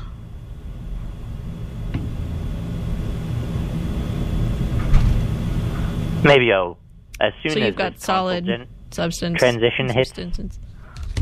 Sorry. I might buy somebody's used PS3 if somebody's unloading one at the console transition for super cheap on the basis of just the Metal Gear Solid games.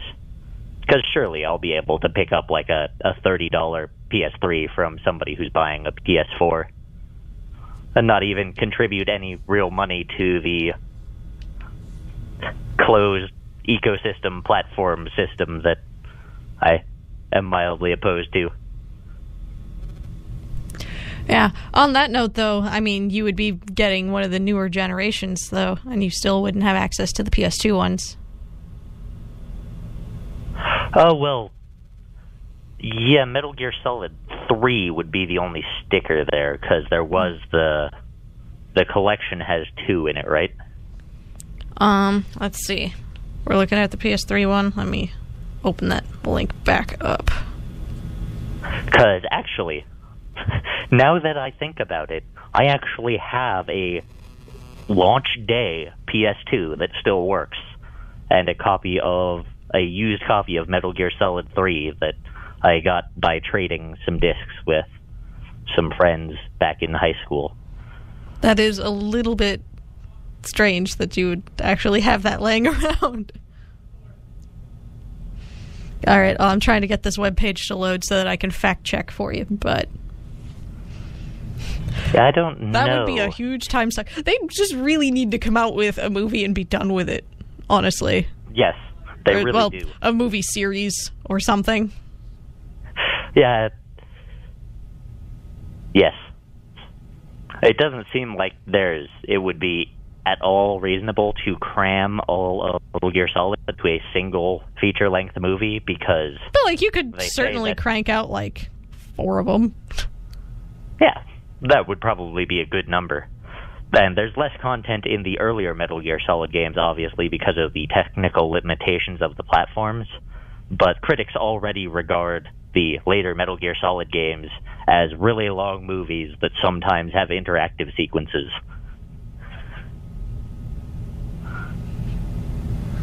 So yeah, I mean that would be that would be interesting for me. If you know you could just sit there and binge without having to go. I'm going to lose like several days of my life here to experience the story. You know. You have pointed out the other serious flaw in my plan, which is, yeah, if there was a collection accessible to me, I would not have time to play it. That is so I agree with you that a movie would be a good plan. That is basically where I'm going with this. Is yeah, games are such a huge time sink. That's part of what makes the media as a whole kind of inaccessible.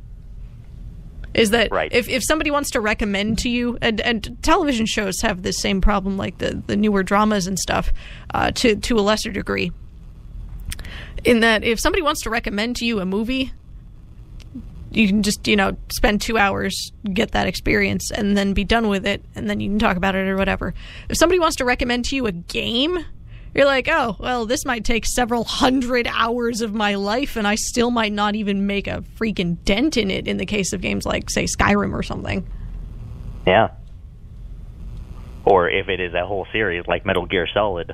or a, yeah a long series that's broken down over several different um, platforms of hardware that are now going to be difficult if not impossible to find 100 hours is a pretty small number, realistically. I'm, I'm I'm I'm being even a little bit conservative with these uh with these numbers here, but so yeah, you can see how uh somebody might have a lot of reservations there. As as it is, I've never actually finished an Assassin's Creed game. I'm gonna I'm gonna put that out there, and that's gonna be on the internet forever. And it, it kind I of am shames just me a about bit. the only person in the whole world who has finished Assassin's Creed 1. Um, I got I I'm- got partway through the first one and then just couldn't get into it. There was just it just lost me, and like everybody got super into this franchise, and uh, or things like I kind of missed. I, I'll like kind of miss a game. You know, it, it it happens. Life happens, gets in the way. You you don't pick up things right when they become new, and then when later titles come out or something, it's like, oh well, I feel like I can't participate in this now because I didn't play the first one. Right. And this might even be, you know, a weird or dumb stance to take on that. It depends on the um, series because, well, Like people are highly like rec- people have highly recommended me to me. Obviously, you've recommended to me Assassin's Creed, and I'm like, well, maybe I can start with two then, and that'll be okay. Or um, people have been recommending to me Gears of War because I miss those. Like I watched my cousin play part of it once several years ago. The first one, I don't. I I only have very vague memories of that, but. uh and of course, part of it is being a little bit uncomfortable to acknowledge this stuff because geek culture, and nerd culture in particular, tends to have a really high burden of proof. Where you have to kind They're of very prove vindictive. your street cred, so to speak. especially as a woman.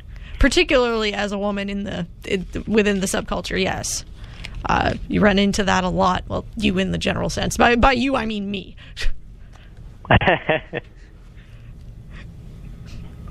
Glad that little lingu- linguistics joke was not lost on you. and by you, she means her. No, she doesn't. And that's what she said.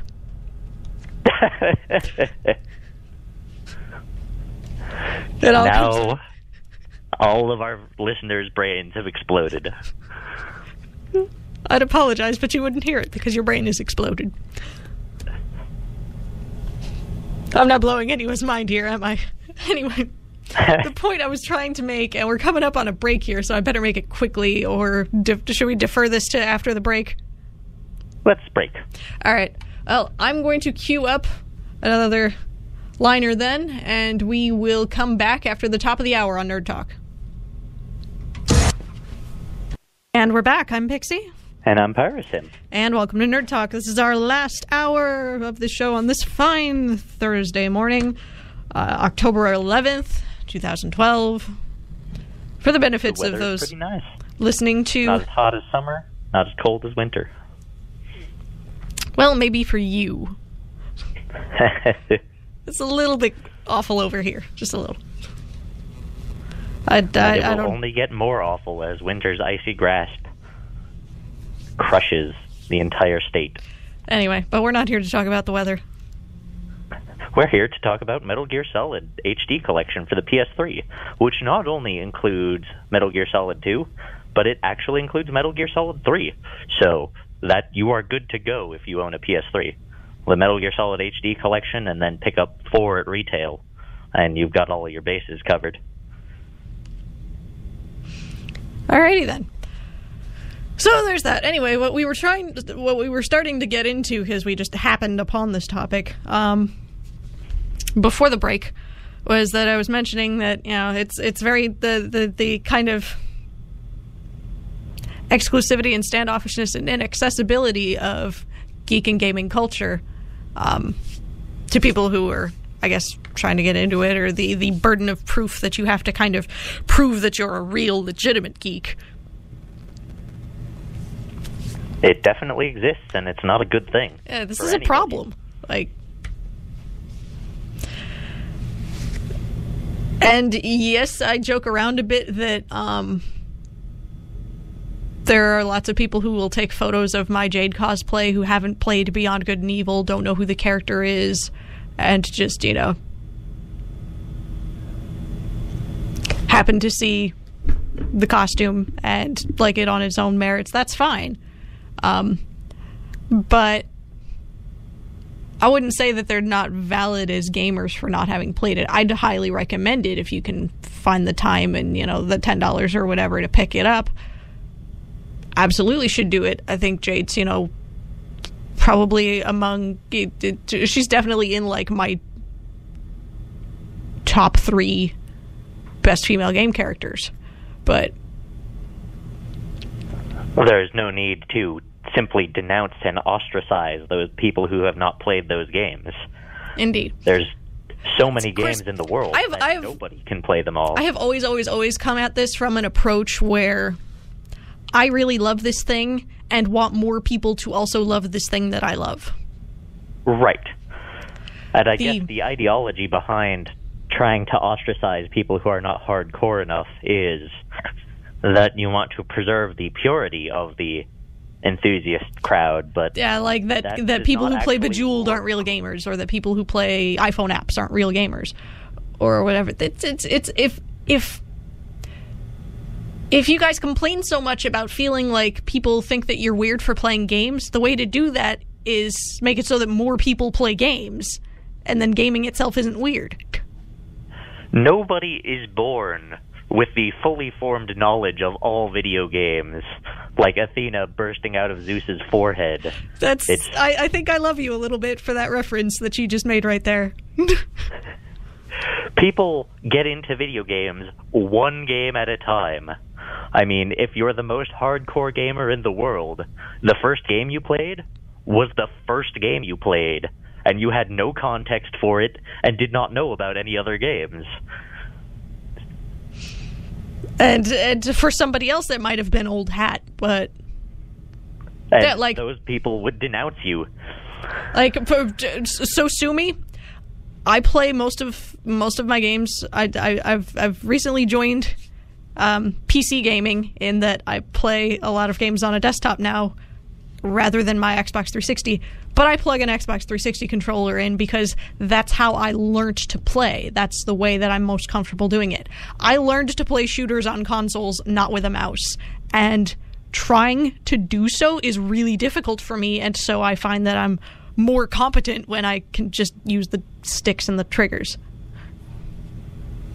that come it's with having fun to use a controller in my hand. gamepad. It gives you the opportunity to kind of lean back and sit a little away from your monitor, and like controls fit in your hands nicely. I, I like I, I like the tactile sensation of playing with a gamepad, and there's nothing wrong with it. And there's nothing wrong with playing. But like people will say that you do, that is how don't you really to play real shooters if you don't do it with a mouse, and so it's it's, it's really dumb and it's really alienating. And like, why would you want to push people away from this thing and then turn around and in almost the same breath complain that oh well, you know, people treat me bad for being this thing because it's weird and not a whole lot of people are into it. The, the solution to that is get more people into it. Um, it's it's frustrating, especially coming from you know being a woman and having to experience all of this with the extra added layer of um, what's the word I'm looking for here? As I'm I'm trying to word this in a very careful way, but there's really no other way to put this. Being an attractive female, there's that extra layer of attempts to delegitimize my interest in these geeky hobbies. If that makes any sense. There is, and the listeners can look it up on Know Your Meme, the idiot nerd girl meme, which is sort of a good way to find all of the branches of this. They will link to them. It, it is a particular idea that attractive women are less are less worthy or need to prove themselves more in order to be real gamers. Yeah, like if if I'm not at the very top in kill counts, then I'm not a real gamer, or I'm you know just messing around with my boyfriend's stuff or something. That you know that this is a boys' club, and yes, the girls can play only if they prove to be exceptionally skilled at it. Like guys can be completely mediocre on Xbox Live, and it's totally fine and nobody even thinks about it. But I'm going to get continual crap for it if I'm anywhere less than first because I'm doing worse than somebody. And so and at that rate, I have this even if you this- are the best of the best, you will still ha- I have this harassed. enha- I have this enhanced burden of proof, which is why, incidentally, I don't play any games competitively. I just don't. I'm either co-op or nothing, or I'm playing by myself, or I'm playing with people that I know. But even then, there's like this there's this added burden of if I can't outperform everybody, then I'm going to be made to feel like I don't belong here at all. Right.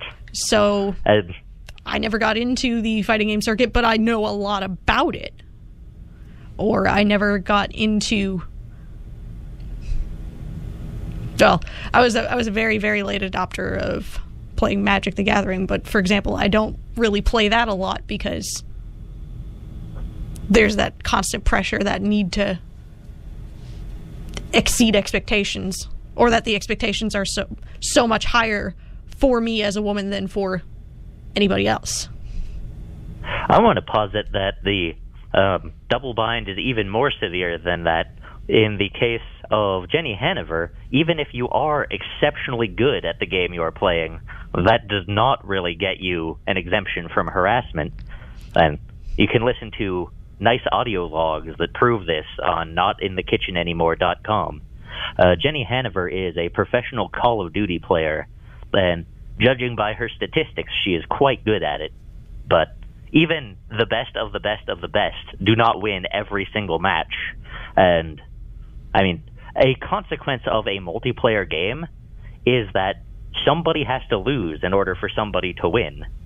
And so, it, you could have at most one person who wins all the time if everybody else always loses when they play them. Mm-hmm. But in the real world, And those types of people aren't really a whole lot of fun to play with anyway. A game isn't really fun unless there's a good chance for either outcome. If you already know what the end result is going to be, there's not really. I, the, uh, we we we participate in and we watch competitions because we want to be surprised. right. And there's that, you know, that suspense, the, you know, I don't know how this is going to come out. That's kind of what makes it compelling content. Anyway, And you were in saying the real world, nobody has a 100% win rate, but even if you have a 75% win rate, people are going to jump down your throats for not being legitimate the other 25% of the time. And you can't really use numbers to argue with this kind of vindictive emotional response. And even if you could argue against it, the ostracism still kind of hurts. Yeah, it's like on on the one level, like a lot of people will say, "Oh, well, that's just you know some jerks who are you know anonymously yelling at people over the internet, or that you know that trash talking happens to everybody, and you should just ignore it." One, it's kind of everybody. That's like a constant reinforced message, so that if I run into somebody who's legitimately like a good sport, I'm honestly baffled and surprised by that, and like enough that that is what stands out. That's the behavior that speaks to me as being different and unique. And that's really sad on its own. But basically i've i've talked myself into into a tangent here.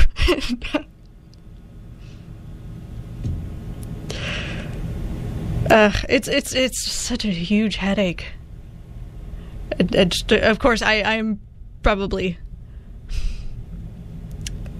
preaching to the figurative choir here, but uh, it, it's it's just so frustrating because uh, I'm I'm I'm legitimately missing out on a huge segment. I don't know if that's the right word I want to use of what makes up modern gaming in particular is there's a huge focus on multiplayer, particularly on competitive multiplayer. And a lot of people are really into this and I kind of feel like I can't be because there's just all of these limits and these impositions and what I was trying to get to earlier was that if you hear these messages constantly you kind of start to internalize them anyway no matter what you might say about just you know oh just shrugging it off or whatever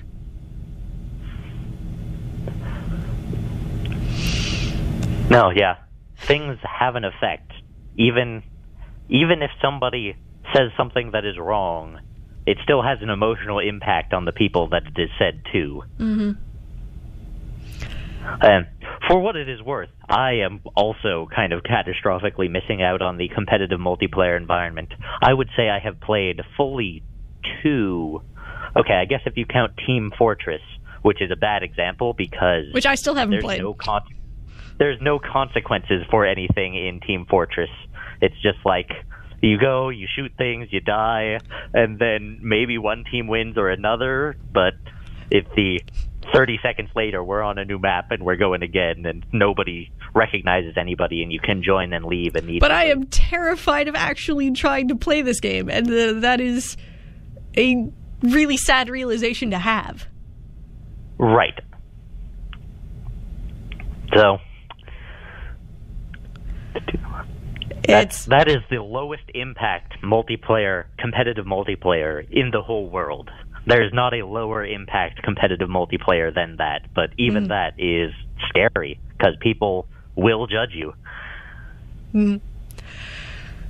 Uh, even I, I I've been I've been branching off a little bit, little bit at a time. Um, Yumi and Sen uh, play League of Legends, and we're actually playing against real humans instead of playing against. I played against robots exclusively until what level twenty.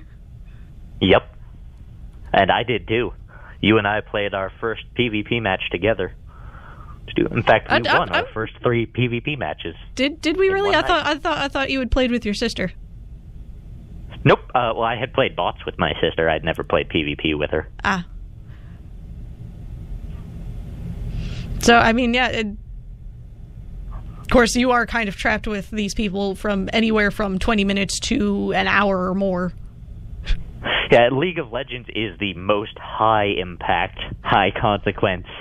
People take note of each other's names multiplayer. So th- that is the most vicious place to start. Well, I guess, but I mean, it's all text based, so you don't ha- have to actually like listen to these people, which kind of helps. And I mean, I don't know. I, I, I, I guess the fact that it's that all the team chat and stuff is text based kind of helps me a little bit, Right, and the other and that these people that- are basically just generally gone.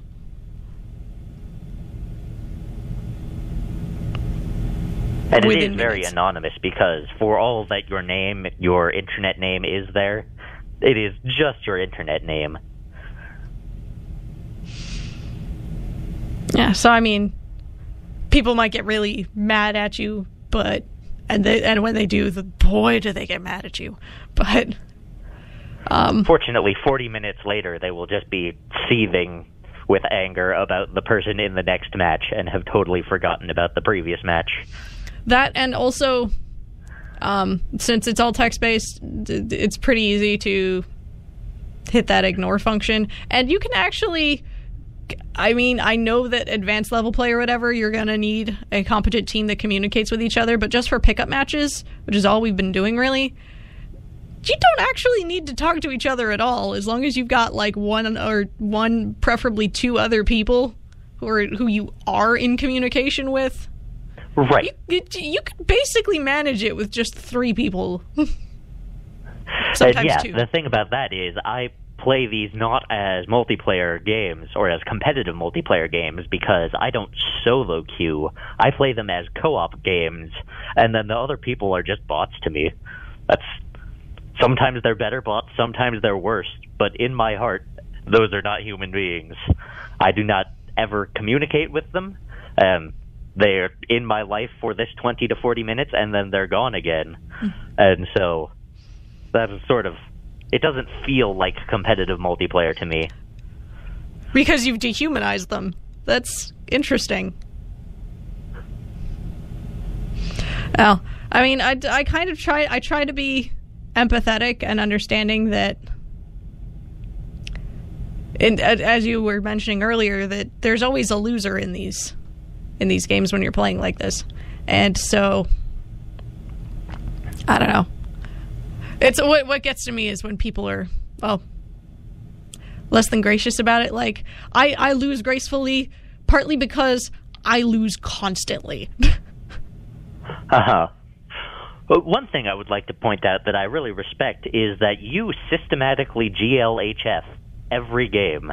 And that is not something that is very common in League culture. And, well, I played a lot of StarCraft 2 right before I came into League. Should we maybe explain with what that is? GLHF is an acronym that stands for Good Luck, Have Fun. And it's basically just hello, uh, have a nice match, but it's just a simple way of being courteous to your fellow human beings. Because I, I, I go I go the exact opposite route that you do, and I try to humanize everyone on the map as much as possible, so that when they get frustrated, I'm like, oh well, this is a person who is frustrated with a situation, and of course they don't know me, and I'm trying not to take this personally. I still kind of feel Right. bad if I don't do as well as I expect of myself, because obviously everybody holds themselves to some kind of standards. And did I mean, let's face it, losing isn't exactly fun for a lot of people. No, Un- unless you unless you lose in a objectively awesome way. I guess I don't know how to put that. Like sometimes there's just a slow clap like that was a great job, bro. You have to just concede that you know I really got my butt handed it to me there and they couldn't have done a better job and Remember did my I best, and they were better. That Sion backdoored our Nexus, and I was I was focusing him down. I, I like we were all there, and I had to come back to defend, and then I was like, kill this Sion, and he had like ten health, and then he hit the last hit on his Nexus. I was like, oh, that came down so close to the wire. There was so much tension there. I was like, okay, well, that was interesting. There's fun in things being really close.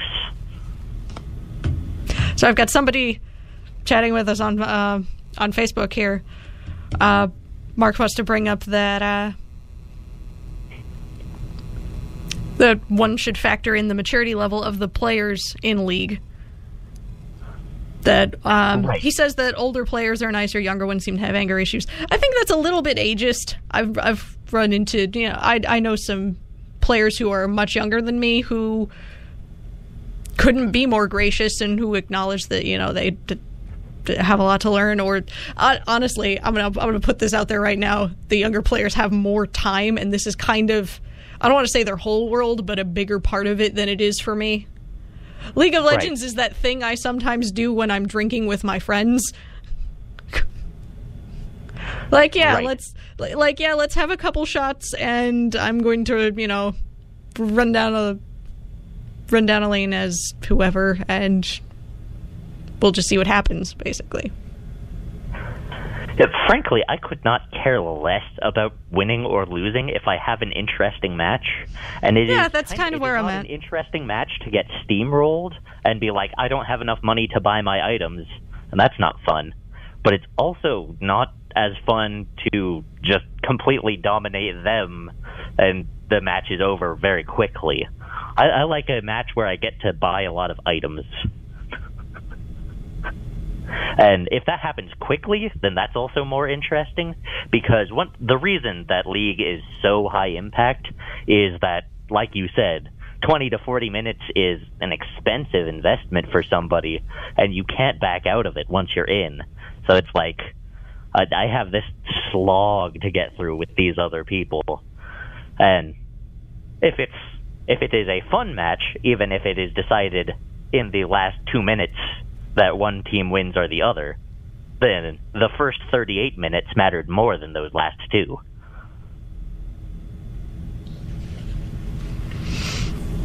yeah but Uh, that is not the attitude of some people I play with, not pointing any fingers, but some people care very much about victory.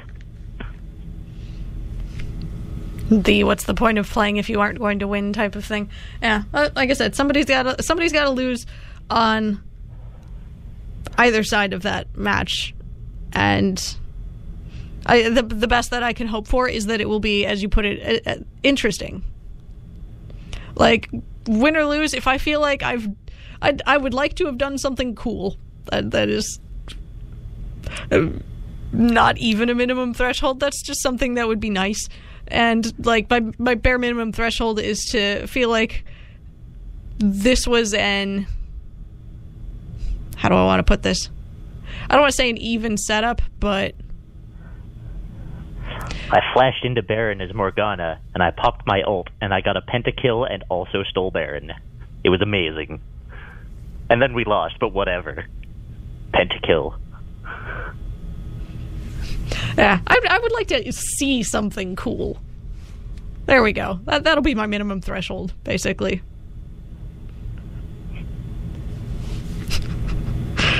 Gosh, when did this become a League of Legends podcast? I have no idea.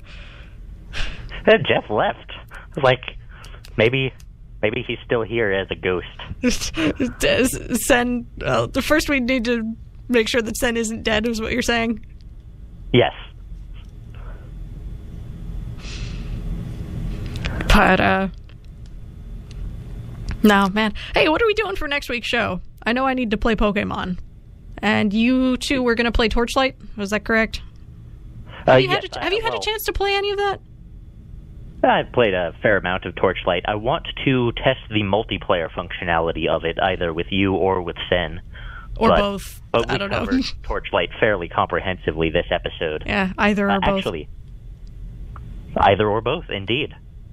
The thing I am curious about is if it will work without having to set up Hamachi, because frankly, that is the reason I play League of Legends more than anything else, is that it is free and it has reliable networking. Okay, granted, there was Saints Row the Third also also sucked. just works. I, I, I, I do find that that's one of those reasons that when I do play multiplayer, it's well either it's with you and we can work out whatever our networking setup has to be, And but For um, you and I, we've already invested the five hours it takes to get VPN set up, and so now that we have it, we have that VPN set up already there. Yeah, but, But- like in- general, though, I I generally am like, well, I could get on. I could try and find somebody on my Steam's li- Steam list to play Borderlands with, which will require huge amounts of work, like you've mentioned, to try and get our games to talk to each other. Or I can just play it on my Xbox and know that it will just work. And that's what it's And I feel like going to do. yeah, that is a huge failing of PC gaming at the moment, and it is something that I feel like will be resolved in a couple of years. That listeners, if the IPv6 transition is in the news, know in your heart that that is a good thing because that's going to make uh, PC gaming networking so much better. But you know, you get what you pay for, kind of, with Xbox Live Gold. It's not very expensive, and having multiplayer that works all the time is good. But I mean that, that that's one of the one of the huge draws to playing cooperatively in Saints Row the Third is like we can just go, oh, here's a game invite, and it just works, and I don't have to it- set anything up, and I don't have to mess with desync. yeah, I don't have to mess with anything. I don't have to download anything else. We don't have to test things a billion times. It's it just works. There's just function and I don't have to invest a whole lot of myself into getting that functionality out of it. Really baller game on top of that, so you couldn't do better. Go play Saints Row the Third, everybody. Haven't we mentioned that already? I feel comfortable mentioning it again. Indeed. It is a good game though. It's I wasn't expecting it to be a good game. Now that we're going back I into the can way understand where you would be coming from. In fact, um, I when I first got into Saints Row 2, and maybe that's an example, as you were mentioning earlier, about having not gotten into a franchise at the beginning, and then it's kind of strange getting into it, because I don't even think the original Saints Row is available on Steam. You, you, if you're playing just on Steam, you have to start at 2. But uh, when I was first playing Saints Row 2, I played like the first 15 minutes of it, and I was like, no, no, this isn't going to be good. This is just dumb, and it's it's taking its gangster premise to be sincere, and I'm not going to play this anymore. But then there was the zero punctuation that proclaimed it as being fantastic. Um, I read some more about it having like really both funny and emotional storytelling, and I was like, I, I don't understand how that integrates with the first 15 minutes I saw. So I went in and I got to 15 minutes plus five. I was like, oh, okay. Oh, this is actually legit. And then it was awesome, and I played that whole game and enjoyed it tremendously. Yeah, it's it's very easy to get scared off on a title, especially because games are such a huge investment, and sometimes there's a very delayed pay- payoff. I we mentioned this a lot um, back when Final Fantasy 13 came out. eh, That one of our friends absolutely loved it, at about like 40 plus hours in. Right. And it's like some people just aren't willing to give it that chance. Or, or worse, or you know, worse yet, it's it's one thing to be able to go, okay, maybe that's true, but I don't feel like I want to invest in that to get that payoff. It's even worse when you don't know that the payoff is there, and so you make a judgment call based on either no information or a very small amount of information, and then not knowing that this is going to turn around later, and you have to be told about that. Right. And I should emphasize that there was the gap between my first attempt at Saints Row 2 and my second attempt at Saints Row 2 was like over a year. I was like, "Oh, this was this was thirty dollars I wasted. I'll just leave this in my library and it will languish and I'll never get back to it." But it was Games Press that got me back into it, and it was it is amongst my favorite games. Uh, but I also want to tie this back to you were mentioning the interface improvements in Pokemon.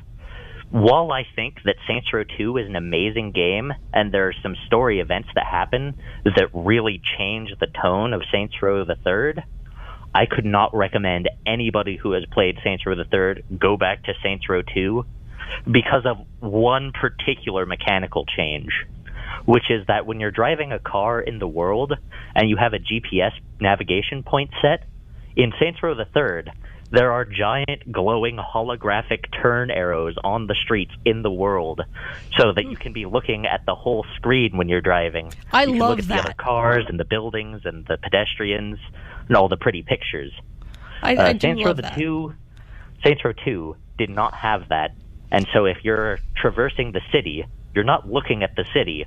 You're looking at your mini map the whole time. I find that happens to me a lot in a lot of games, like games that have maps. In general, I tend to find that I'm just looking at the map the whole time, and there's my icon moving across the map.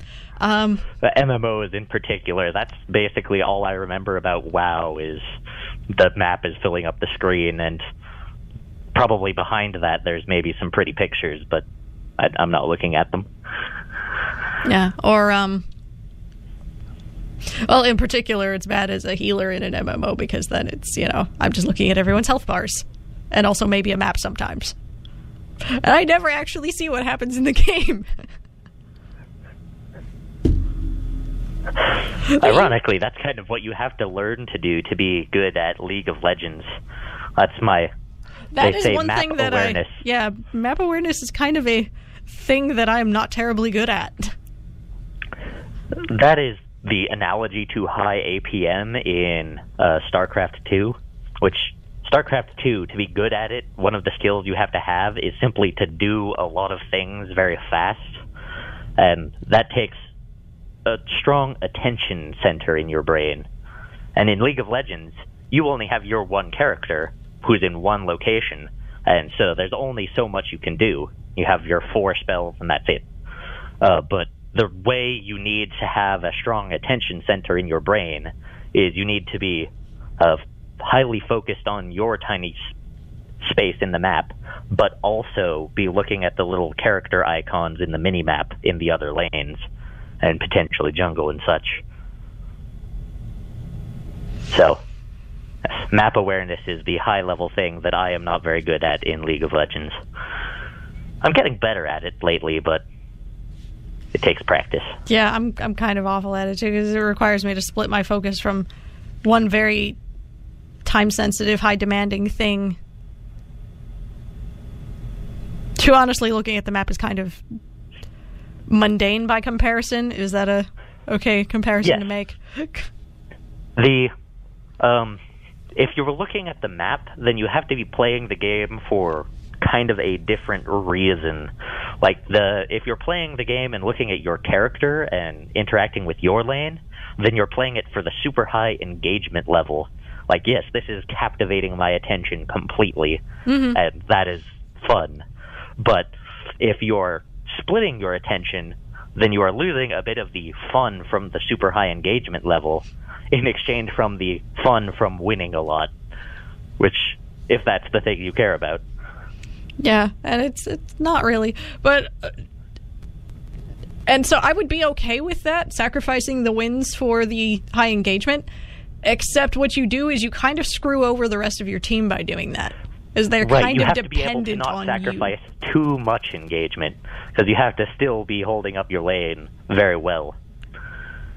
Oh no, what I mean what I mean to say is that I would be okay with sacrificing okay, I just won't win and not develop the skill of map awareness. But by doing that, you are screwing over everyone else who's requiring you to go, okay, this person is missing, or, you know, I should pay attention to where they are, type of thing. Do you see what I'm getting Right. at? Totally. Um, and this may sound a little perverse, but one of the things that I'm looking forward to when Heart of the Swarm comes out and all of the casuals get back into StarCraft, which means I can get back into StarCraft because I'm a casual and I can't compete with the hardcores, is that the game types are 1v1, 2v2, 3v3, 4v4, and you only have as many people on your team as you have actual pals in voice chat. And so, instead of screwing over people who are going to get super mad about it, it's it's only you and your pals on your team. And so, I my dedication to winning is proportional to the dedication of my pals to winning. I can prioritize things appropriately.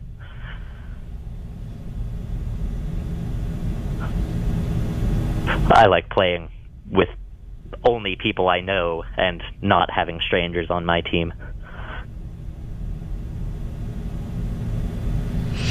So, yeah, there's a bit of that. And we got more into League of Legends this week than I was expecting to. Should probably see if Sen's okay. uh, he's probably dead.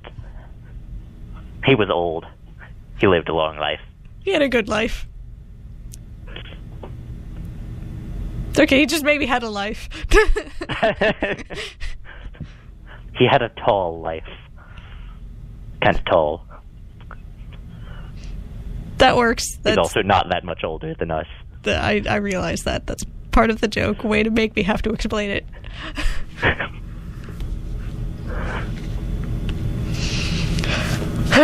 Okay, so next week is Pokemon and also Torchlight multiplayer. Yeah, gee, are you sitting on any news stories that we should go over? nope, I, I, don't think happen I to have anything in well. front of me. All right. Well, in that case, I think we should probably wrap it up simply because, well, I don't want to drag this out for longer than it's going to be any good. Absolutely. All right. Quality over quantity. Indeed. So, I'm going to queue up everything I do. I do with William Shatner by Warp 11, and um, we're going to call it a day. So, in the meantime, I'm Pixie, And I'm Pyrosim. and you've been listening to Nerd Talk. We'll catch you next week.